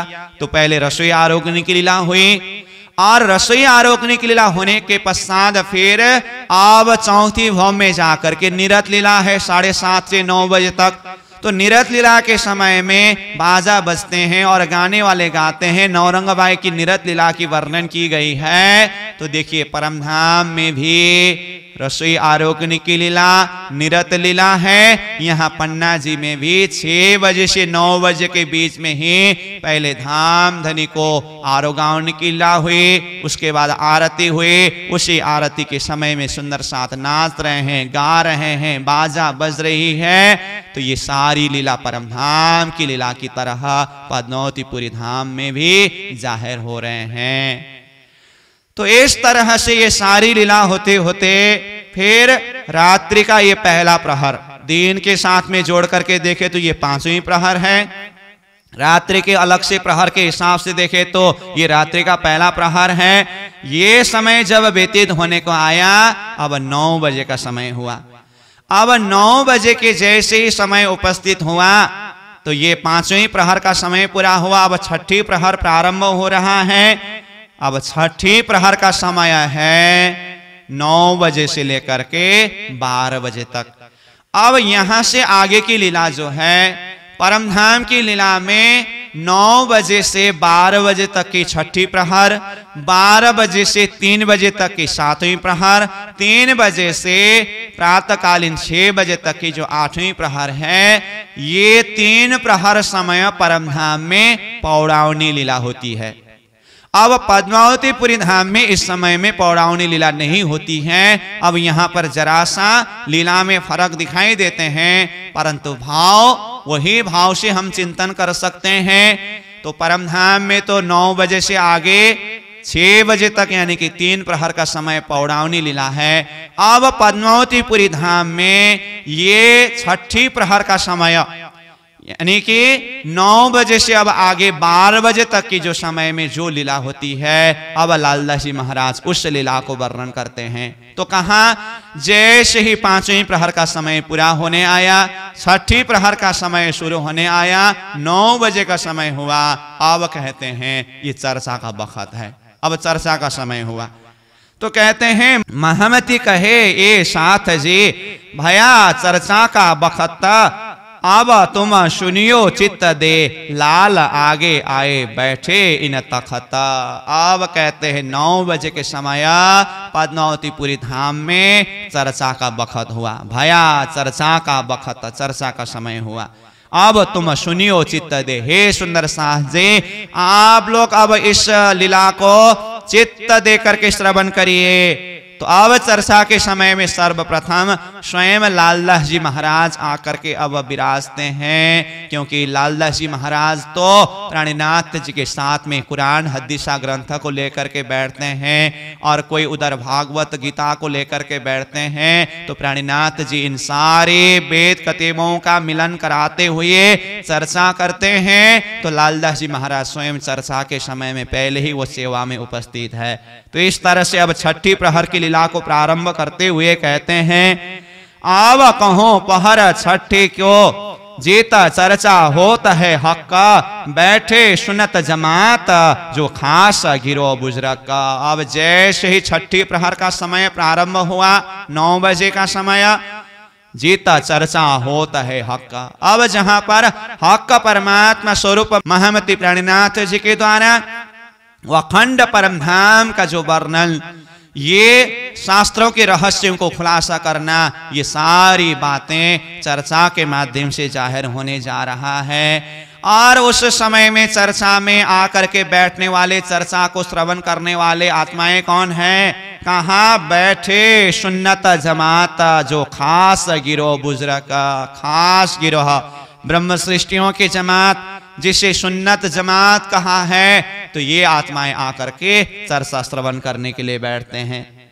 जब चर्चा का समय हुआ, सुंदर साथ सब आकर के बंगला में भार करके बैठे हुए हैं। साथ सबे बंगले मिने बैठे हो तनमुखा केशव दास बाणी पड़े, कहो न जाए ये सुखा। अब सुंदर साथ सब बंगला में चारों तरफ़ भर करके बैठे हुए हैं। केशव दास जी बाणी लेकर के बैठते हैं तो अब बाणी का उच्चारण करते हैं। अवधाम धनी उसका अर्थ करने लगते हैं, चर्चा करने लगते हैं। ये जो सुख है, शब्द में व्याख्या नहीं कर सकते हैं। फिर कहते हैं, कुरान हदीसों बाचने बैठत है, दास लाल, गोकुल दास पड़त है, करने राज खुशाल कुरान हदिशा ग्रंथों का उच्चारण करने के लिए, पढ़ने के लिए स्वयं लालदास जी महाराज उपस्थित होते हैं। गोकुल दास भी बैठ करके पढ़ते हैं तो धामधनी को प्रसन्न बनाते हैं। इत चर्चा होत है चोपसो, बरखा होता अद्वैत, रसना मीठी सो कहे उड़ जाता सब द्वैत। देखिए, अब यहाँ पर चर्चा जब प्रारंभ हुई ना, चर्चा के लिए क्या कहा? बारखा होता अद्वैत। चर्चा के माध्यम से वो अद्वैत परम धाम का प्रेम का बरसात हो रहा है। देखिए, ये बाणी बरसात है ना? तो ये बाणी के रूप में, चर्चा के रूप में अद्वैत परम धाम का रस बरसात हो रही है। रसना मीठी सो कहे। प्रेम भरी मिठी बचन के द्वारा ये चर्चा हो रही है। उड़ जात सब द्वैत। ये संसार के द्वैत जो है ना, यही चर्चा के प्रभाव से सब के हृदय के अंदर से उड़ जाता है, दूर हो जाता है। जब चर्चा प्रारंभ हुई, फिर से वही बात मुरलीधर जी जो है ना, वो बिल्कुल धामधनी के सामने में उपस्थित होकर के, आँख में आँख मिला करके चर्चा को श्रवण करते हैं। मुरलीधर सन्मुख बैठता, पलक न मारता नैन मुख सो मुख सन्मुख श्रवण सुने मुख बैना। एक पलक भी आँख को बंद किए बिना नेत्र में नेत्र मिला करके सन्मुख होकर के बहुत प्रेम और भाव से चर्चा को श्रवण श्रवण करते हैं। एक बाजू श्री महाराज और देवकरण जी साथ और दुर्गा भान पिछला जाके धनिये पकड़े हाथ। स्वयं महाराज छत्रसाल जी चर्चा श्रवण करने के लिए वहाँ उपस्थित हैं। देवकरण भाई भी वहाँ पर उपस्थित हैं और दुर्गा भान वहाँ पर साथ में बैठे हुए हैं। ये जितने भी आत्माओं के दिल, दिमाग रूपी हाथ को प्रियतम धाम धनी श्री राज जी महाराज ने पकड़ करके यहाँ उपस्थित कराए। ये सारे आत्माएँ धनी की चर्चा श्रवण करने के लिए यहाँ पर उपस्थित है। अब धाम धनी श्री राज जी महाराज, स्वरूप महामती प्राणीनाथ जी चर्चा के माध्यम से किन किन विषयों के ऊपर चर्चा करते हैं, खुलासा करते हैं? तो वेद कतेबों के प्रमाण देते हुए तारतम के माध्यम से जितने भी विषयों की खुलासा करना, ये उनकी चर्चा की विषय वस्तु है। तो इस तरह से धाम धनी के द्वारा सुंदर भाव से चर्चा हो रही है। अद्वैत परम धाम का रस प्रेम बरसात के रूप में यहाँ पर प्रस्तुत हो रहा है। तो इस समय में चर्चा को श्रवण करने वाले अलग अलग भाव से चर्चा श्रवण करते हैं। कोई सुनत है पुष्ट में, कोई पुष्ट भाव से श्रवण करते हैं, कोई सुने मर्यादा, कोई मर्यादा दर्जा में रह करके सुनते हैं, कोई परवाह में कान दे, कोई परवाह दर्जा से सुनते हैं, ये सुनने की बुनियाद, ये सबका अपना अपना जो बुनियाद से, जो जितना जितना अंकुर है, उसी भाव से श्रवण करते हैं। अब धाम धनी स्वरूप महामती प्राणीनाथ जी चर्चा करते समय विशेष करके परम धाम का वर्णन करते हैं, राज्य की स्वरूप श्रृंगार का वर्णन करते हैं। तो यहाँ कहते हैं, ये पचवीस की बात बड़ी, जिन नज़र लाहोत परा, सो हिसाब में ना आवही, कहो सयों की खातर। देखिए, पच्चीस पक्ष परम धाम का वर्णन जो है ना, ये पच्चीस पक्ष परम धाम का वर्णन शब्द में ला ही नहीं सकते हैं। शब्द में ला करके संख्या में ला करके वर्णन करना संभव ही नहीं है। फिर भी कहते हैं, कहो संयोग की खातर संयोग के वास्ते उस बेसुमार शब्दातीत परम धाम को भी शब्द में ला करके वर्णन करना है तो इस तरह से वो बेसुमार परम धाम को भी हम आत्माओं के हृदय में वो परम धाम का सुख का अनुभव कराने के लिए धाम धनी स्वरूप प्राणीनाथ जी उसको शब्द में ला करके वर्णन कर रहे हैं। इसलिए वाणी में कहते हैं ना अर्समता अपार है। दिल में ना आवे बिना सुमार ताथे ले बिच हिसाब के जो रूह करे विचार। परम धाम की मताहा, परम धाम का जो खजना है, वहाँ की जो वैभव है, परम धाम का वर्णन अपार है। उसका कोई पारवार ही नहीं अर्समता अपार है। दिल में न आवे बिना सुमार वो अपार परम धाम को अपार अपार अपार करते रहे और हिसाब में ला करके वर्णन न करे तो आत्माओं के हृदय में वो परम धाम का कुछ झलक उतरेगा ही नहीं, अनुभव होता ही नहीं। इसीलिए कहते हैं, दिल में न आवे बिना सुमार उसको हिसाब में, शब्द में लाए बिना आत्माओं के हृदय में वो परम धाम उतरता ही नहीं। ताथे ल्यो बिच हिसाब के, जो रूह करे विचार। इसीलिए मैं वो बेशुमार परम धाम को भी शुमार में, यानी कि हिसाब में अथवा शब्द में ला करके वर्णन करने जा रहा हूँ। जो रूह करे विचार जिसमें कि परम धाम की जो आत्मा है, ब्रह्म सृष्टि है, उसको विचार करके वो परम धाम को अपने हृदय में विराजमान कराए और उसके प्रति भाव को प्रकट करे, प्रेम को जागृत कराए। इस तरह से वो बेशुमार परमधाम को शुमार में ला करके वर्णन करने के भाव को प्रस्तुत करते हैं।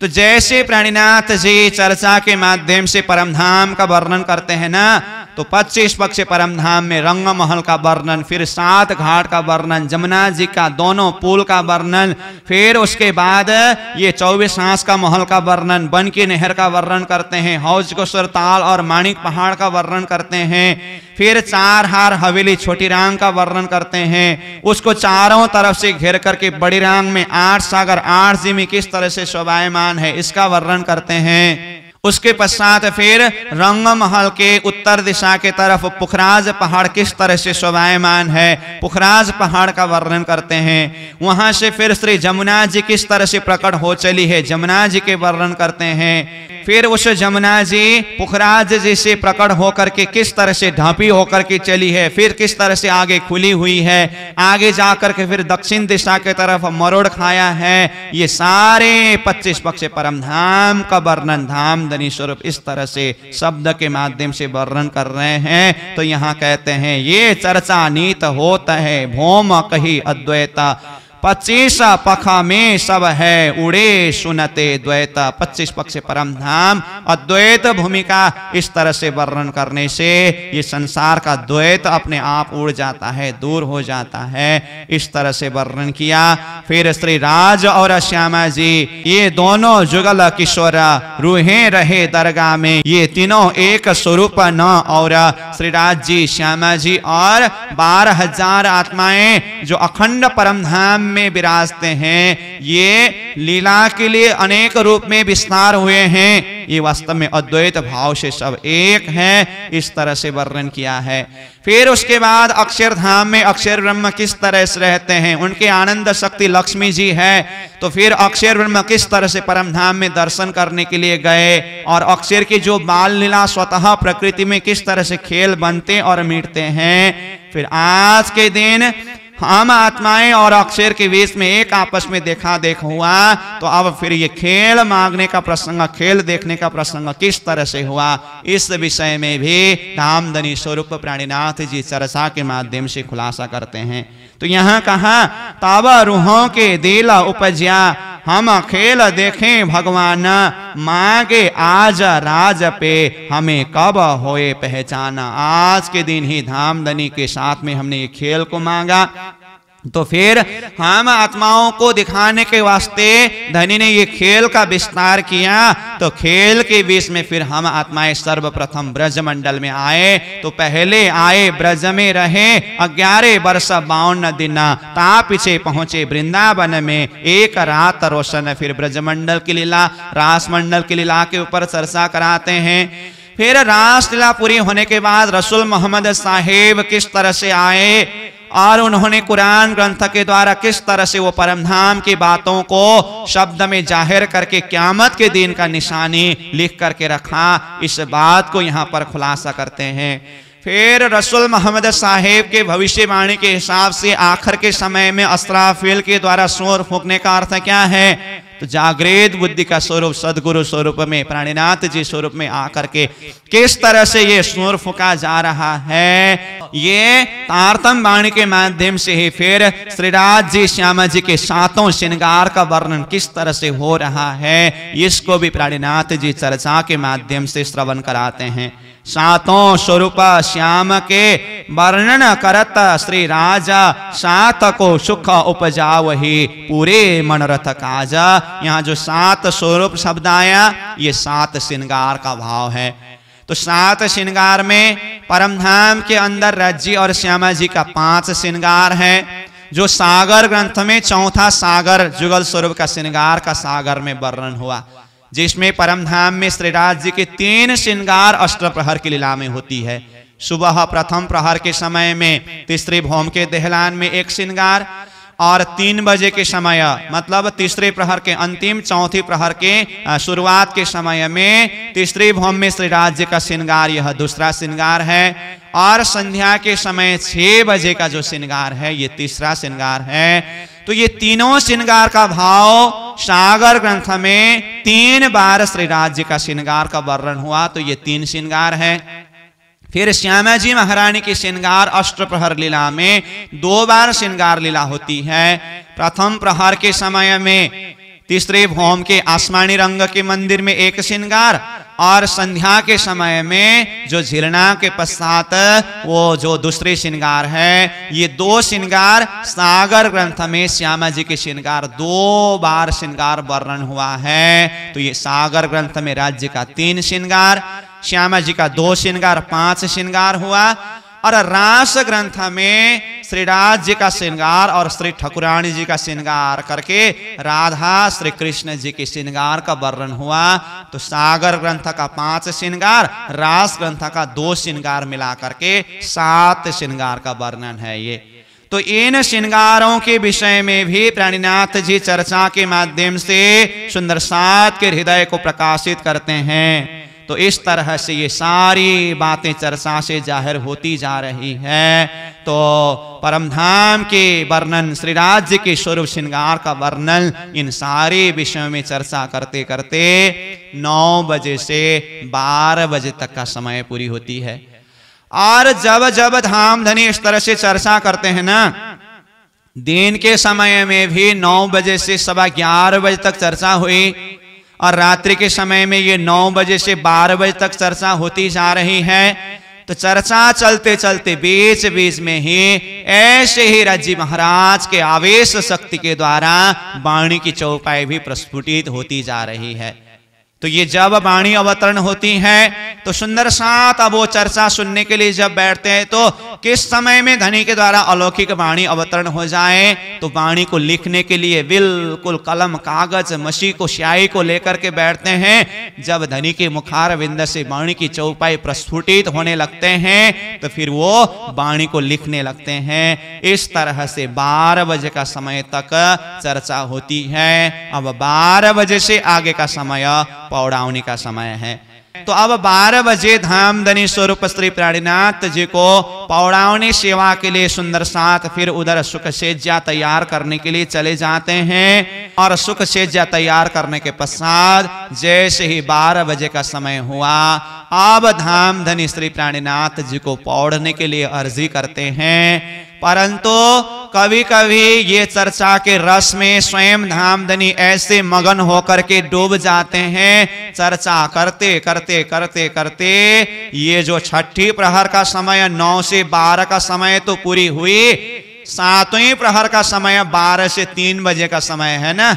ये समय भी चर्चा में ही निकल जाता है। जब धनी जी ऐसे रस में मगन होकर के चर्चा में डूब जाते हैं तो सुंदर सात भी मगन होकर के चर्चा सुनते रहते हैं। उसमें कोई तो अब उठ करके चले जाते हैं, जो जीव सृष्टि के हैं, वो पहले ही उठ करके चले जाते हैं। ईश्वरी सृष्टि दर्जा के जो है, वो बीच बीच में अपने अपने समय में उठ करके चले जाते हैं। और ब्रह्म सृष्टि में भी विशेष विशेष जो सुंदर साथ है ऐसे मगन होकर के चर्चा श्रवण करते रहते हैं। कभी कभी ये सातवीं प्रहर का समय, यानी कि बारह बजे से तीन बजे का समय भी चर्चा में ही व्यतीत होता है। तो नौ से बारह बजे का बैठक तो चर्चा है ही। अब बारह बजे का समय वैसे पौड़ावनी का समय है, परंतु बारह बजे के समय में ही पौड़ावनी लीला होती है, ऐसा कोई निश्चय नहीं है। इसीलिए यहाँ अब छठी प्रहर की लीला पूरी होने के पश्चात और सातवें प्रहर की लीला को यहाँ लालदास जी महाराज वर्णन करते हैं। तो सुंदर शाह तो अपनी तरफ़ से धनी को सुख सेजा सजा करके सेवा के लिए हाजिर होते हैं, परंतु अब चर्चा पूरी करके सुख सेजा में विराजमान हो और पौड़े अथवा चर्चा के रस में डूब जाए, ये तो धनी की अपनी लीला है।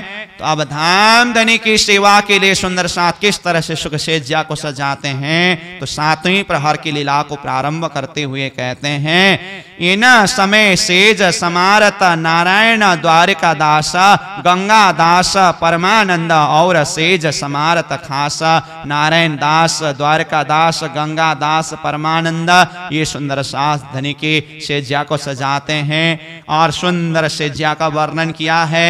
शिराने गाल मसूरे, कहाँ लग कहूँ बनाए। चारों डाड़े नूर के ऊपर छत्री गिरदवाए।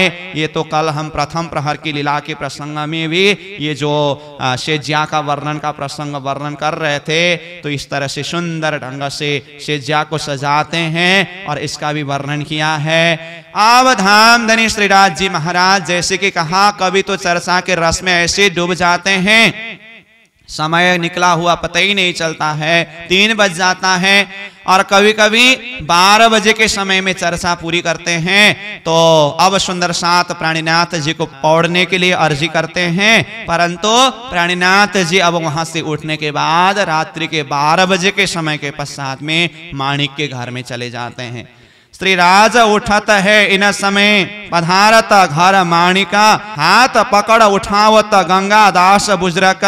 धामधनी जब वहाँ से उठते हैं तो गंगा दास प्राणीनाथ जी के हाथ पकड़ करके उठाते हैं।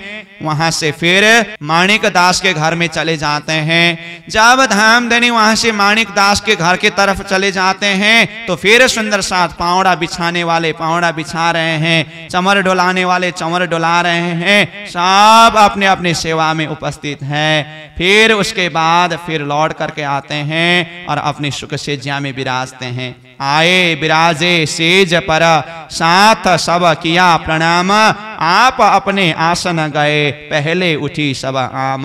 तो धाम धनी सुख सेज्या में विराजमान होने के बाद सुंदर साथ फिर धनी को प्रणाम करते करते अपने अपने विश्राम स्थल के तरफ़ चले जाते हैं। एता गोदावरी आवता ले आई कटोरी में तेला। चोटी छोड़े बात करे। राज भला दिखाया हमें खेला। गोदावरी नाम के सुंदर सात धाम धनी को तेल लगाने के लिए कटोरी में तेल भर करके आते हैं। चोटी में तेल को लगाते हुए धनी को क्या कहते हैं? हे धाम धनी, आपने हमें बहुत अच्छा खेल दिखाया। इस तरह से बहुत प्रेम से ये बातें करते हुए सेवा कर रहे हैं। बातें जो बाई जी की, घर की जो वितक श्री राजा श्रवणा देत है, ये बातें बुज़ुर्ग ऐसे विश्राम करते हुए फिर प्राणीनाथ जी, बाईजू महारानी दिन भर के वहाँ की जो भी बातें हैं, वो सुनाते हैं। तो बहुत प्रेम और भाव के साथ में उस वचन को भी श्रवण करते हैं। अब धामधनी श्री प्राणीनाथ जी पलंग के ऊपर पौड़े हुए हैं। श्री राज पौड़े पलंग पर, सबको कहे प्रणाम गावन वाली आइया अड़ाई प्रहर गई जाना। तो धाम धामधनी सबको प्रणाम करते हुए पलंग के ऊपर पौड़ रहे हैं। सुंदर साथ भी, धनी को प्रणाम करके वो विश्राम करने के लिए जाने वाले चले गए। अब रात्रि के समय में, पौड़ावनी के समय में भी जो वाणी गायन करने के बारी वाले जो सुंदर साथ है, वे लोग उपस्थित होते हैं और वाणी गायन करने लगते हैं। तो इस तरह से चलते चलते फिर अढ़ाई प्रहर गई जाम। अढ़ाई प्रहर रात्रि व्यतीत हो गया। मतलब दो प्रहर बारह बजे तक में पूरा हुआ रात्रि का। फिर अढ़ाई प्रहर मतलब ये सातवीं प्रहर अथवा रात्रि के तीसरी प्रहर का भी चार घड़ी समय व्यतीत हुआ। तो इस तरह से साढ़े एक बजे का समय हुआ रात्रि का। वाणी गायन करने वाले गायन कर रहे हैं। अब धामधनी उसको चित्त दे करके श्रवण कर रहे हैं। तो उसी बीच में फिर इस तरफ़ सुंदर साथ जी कई जने, कुरान हदीसा ग्रंथ को लेकर के, बाणी खोल करके, उसके अर्थ करना, उसकी चिंतन करना, इस तरह से सुंदर साथ बैठे हुए हैं। तो इस समय में लालदास जी महाराज, केशव दास जी और गोकुल दास जी, ये विशेष विशेष सुंदर साथ वहाँ, ये कुरान, हदीसा, वाणी वहाँ पर अध्ययन करते हैं, चिंतन करते हैं। तो इस तरह से ये लोग भी आनंद में मगन है। फिर बाद में धामधनी श्री प्राणीनाथ जी पूछते हैं कौन कौन बैठे हैं अभी तक ये चर्चा में? तो फिर सुंदर साथ जी जो जो भी वहाँ पर बैठे थे, वहाँ उन लोगों के वो नाम बताते हैं। और उस समय में वहाँ चर्चा में कभी कभी दस जने कभी कभी बीस जने, कभी तीस, कभी चालीस, कभी पचास, साठ, सत्तर तक रहते थे। तो अंतिम समय तक ये चर्चा में सुंदर साथ लगे हुए हैं। अब धाम धनी श्री प्राणीनाथ जी पलंग में पौड़े पौड़े वहाँ पर सुंदर साथ जो चर्चा कर रहे हैं, उसको श्रवण करते रहते हैं। इसी तरह से समय निकलते निकलते ये सातवीं प्रहर का समय भी बीत जाता है। अब तीन बजे का समय हुआ, अब आठवीं प्रहर का समय प्रारंभ हुआ। अब आगे लालदास जी महाराज फिर आठवीं प्रहर की लीला वर्णन प्रारंभ करते हैं। अब कहो पहर आठमा श्री राज पौड़े पलंग पर, बाणी धाम धनी की गरजत सब ऊपर धाम धनी स्वरूप प्राणीनाथ जी पलंग में पौड़े रहे हैं, परंतु वो गहरी नींद में गए नहीं है। अब सुंदर साथ बाणी गायन करने वाले, बाणी गायन कर रहे हैं अध्ययन करने वाले और उसका अर्थ करने वाले, चर्चा करने वाले, चर्चा कर रहे हैं। बारी वाले गावत, फिरती चौकी पर, जिनकी आए सो गाव ही रसना मीठी कर। जिन जिन की बारी आते हैं वो लोग आकर के यहाँ बाणी गायन करते हैं। और ये बाणी जो भी गायन कर रहे हैं तो ये बाणी के संदर्भ में कहते हैं, इना वाणी से होता है नज़र पड़े बीच बक्का, ये रसना श्यामा जी की पिलावत रस रब का। ये वाणी को गायन करने से, चिंतन करने से अखंड परम धाम में आत्मा दृष्टि पहुँच जाती है। और ये वाणी श्यामा जी के रचना के द्वारा ज़ाहिर हुआ वाणी है। और रब परमात्मा ने अपने आत्माओं को, ये वाणी रूपी रस को इस तरह से पान करा रहे हैं। तो इस तरह ये सारी वाणी की भाव को यहाँ ज़ाहिर करते हैं और यहाँ पर लालदास जी महाराज ने इस वाणी को अध्ययन करने से, ये वाणी को गायन करने से क्या फ़ायदा है? इस विषय में भी यहाँ खुलासा करते हैं। इन वाणी की बरकते सब दफे होत बलाए, सदा शैतान कांपत, मीने पैठ न सके ताए। ये वाणी के बरकत से विभिन्न प्रकार की जो दुख कष्ट जो भी है, वो सब दूर हो जाता है। शैतानी वृत्ति हृदय के अंदर रह नहीं सकता है सब दूर हो जाता है। हृदय में अखंड सुख अनुभव होने लगते हैं। इस तरह से ये वाणी की महिमा है। यह जिकर जुआन सो करत है, सब मोमिन श्री राज पौड़े सुनत है, नींद न आवे नैन ये धाम धनी को ज़िक्र किया हुआ, अर्जी किया हुआ, प्रार्थना किया हुआ, ये सारे वाणी सुंदर साध गायन करते हैं, चिंतन करते हैं। तो धाम धनी श्री प्राणीनाथ जी पलंग में ऐसे लेटे लेटे उसको श्रवण करते हैं। नींद ना आवे, नैन आँख में नींद नहीं है। इस तरह से जब सुंदर शाह जी वहाँ पर वाणी को अध्ययन करते हैं, वो कुरान हदीसों के शब्दों को पढ़ते हैं तो कोई भी अध्ययन करते समय, पढ़ते समय कदाच एक शब्द भी अगर उल्टा पुल्टा हुआ तो धाम धनी जी कहते हैं, क्यों शब्द को भूल कर रहे हो? तो यहाँ कहते हैं, ये आगे पीछे क्यों कहा? क्यों? कहे, हरफ भूला, चुप रहे, अर्ज़ करे। कहे, हमें ना आया सुला। धामधनी सुंदर सास से कहते हैं, हरफ को क्यों भूल रहे हो? इसका मतलब देखिए, कितने सजगता के साथ में, सुंदर सात के एक एक शब्द को श्रवण कर रहे हैं। जब इस तरह से धनी जी कहते हैं तो सुंदर साथ चुपचाप से रहते हैं, फिर कुछ बाद में कहते हैं, हमारे से भूल हो गया, इस तरह से ज़ाहिर करते हैं तो इस तरह से निरंतर चर्चा करना, वाणी गायन करना चलते चलते ये आठवीं प्रहर का समय का भी चार घड़ी का समय व्यतीत हुआ, अब बाकी चार घड़ी का समय है। कहने का अर्थ, रात्रि के साढ़े चार बजे का समय हुआ। अब इतने समय बीतने के बाद प्रारंभ होती है वृत्ति वर्णन का समय। अब परमधाम का जो वर्णन है ना, वृत्ति, पच्चीस पक्ष परमधाम, जो चर्चनी का प्रसंग है, ये वर्णन करने का प्रसंग आता है। तो यहाँ पर लालदास जी महाराज कहते हैं, यो करते इन भात से बाकी रात रही घड़ी चार, आया समय बीरत का गिरो उठने का करे विचार। इस तरह से अब सुंदर सात जी, चार चार घड़ी समय बाकी रहते समय वृत्ति का वर्णन करने का समय होता है। अब परम धाम का वर्णन को प्रारंभ करते हैं। इस तरह से ये सुंदर लीला वर्णन होती जा रही है। तो प्यारे सुंदर सास जी, आज का हमारा समय पूरा हुआ है। आज के प्रसंग को हम यहीं पर विश्राम देंगे। आज हमने दूसरी प्रहर से लेकर के आठवीं प्रहर के चार घड़ी समय तक के जो लीला प्रसंग के ऊपर चर्चा किया। अब कल के प्रसंग में ये आठवीं प्रहर प्रहर के चार घड़ी समय बाकी रहता है। जब अब ये वृत्ति का वर्णन किस तरह से करते हैं, इस प्रसंग के द्वारा परमधाम 25 पक्ष का सारांश वर्णन जो महमती प्राणीनाथ जी ने परिक्रमा ग्रंथ के द्वारा किया और सुंदर सात के समक्ष में स्वयं प्राणीनाथ जी परमधाम का वर्णन करके सुंदर सात को परमधाम के प्रति भाव को प्रकट कराते थे। लालदास जी महाराज ने इसी वृत्ति का वर्णन यहाँ पर सारांश रूप में कराए हैं। इस भाव के ऊपर हम चर्चा श्रवण करेंगे तो आज के लिए चौपाय को दोहरा करके यहीं पर प्रसंग को विश्राम देंगे। बोलो श्री सदगुरु महाराज की श्री प्राणीनाथ प्यारे की।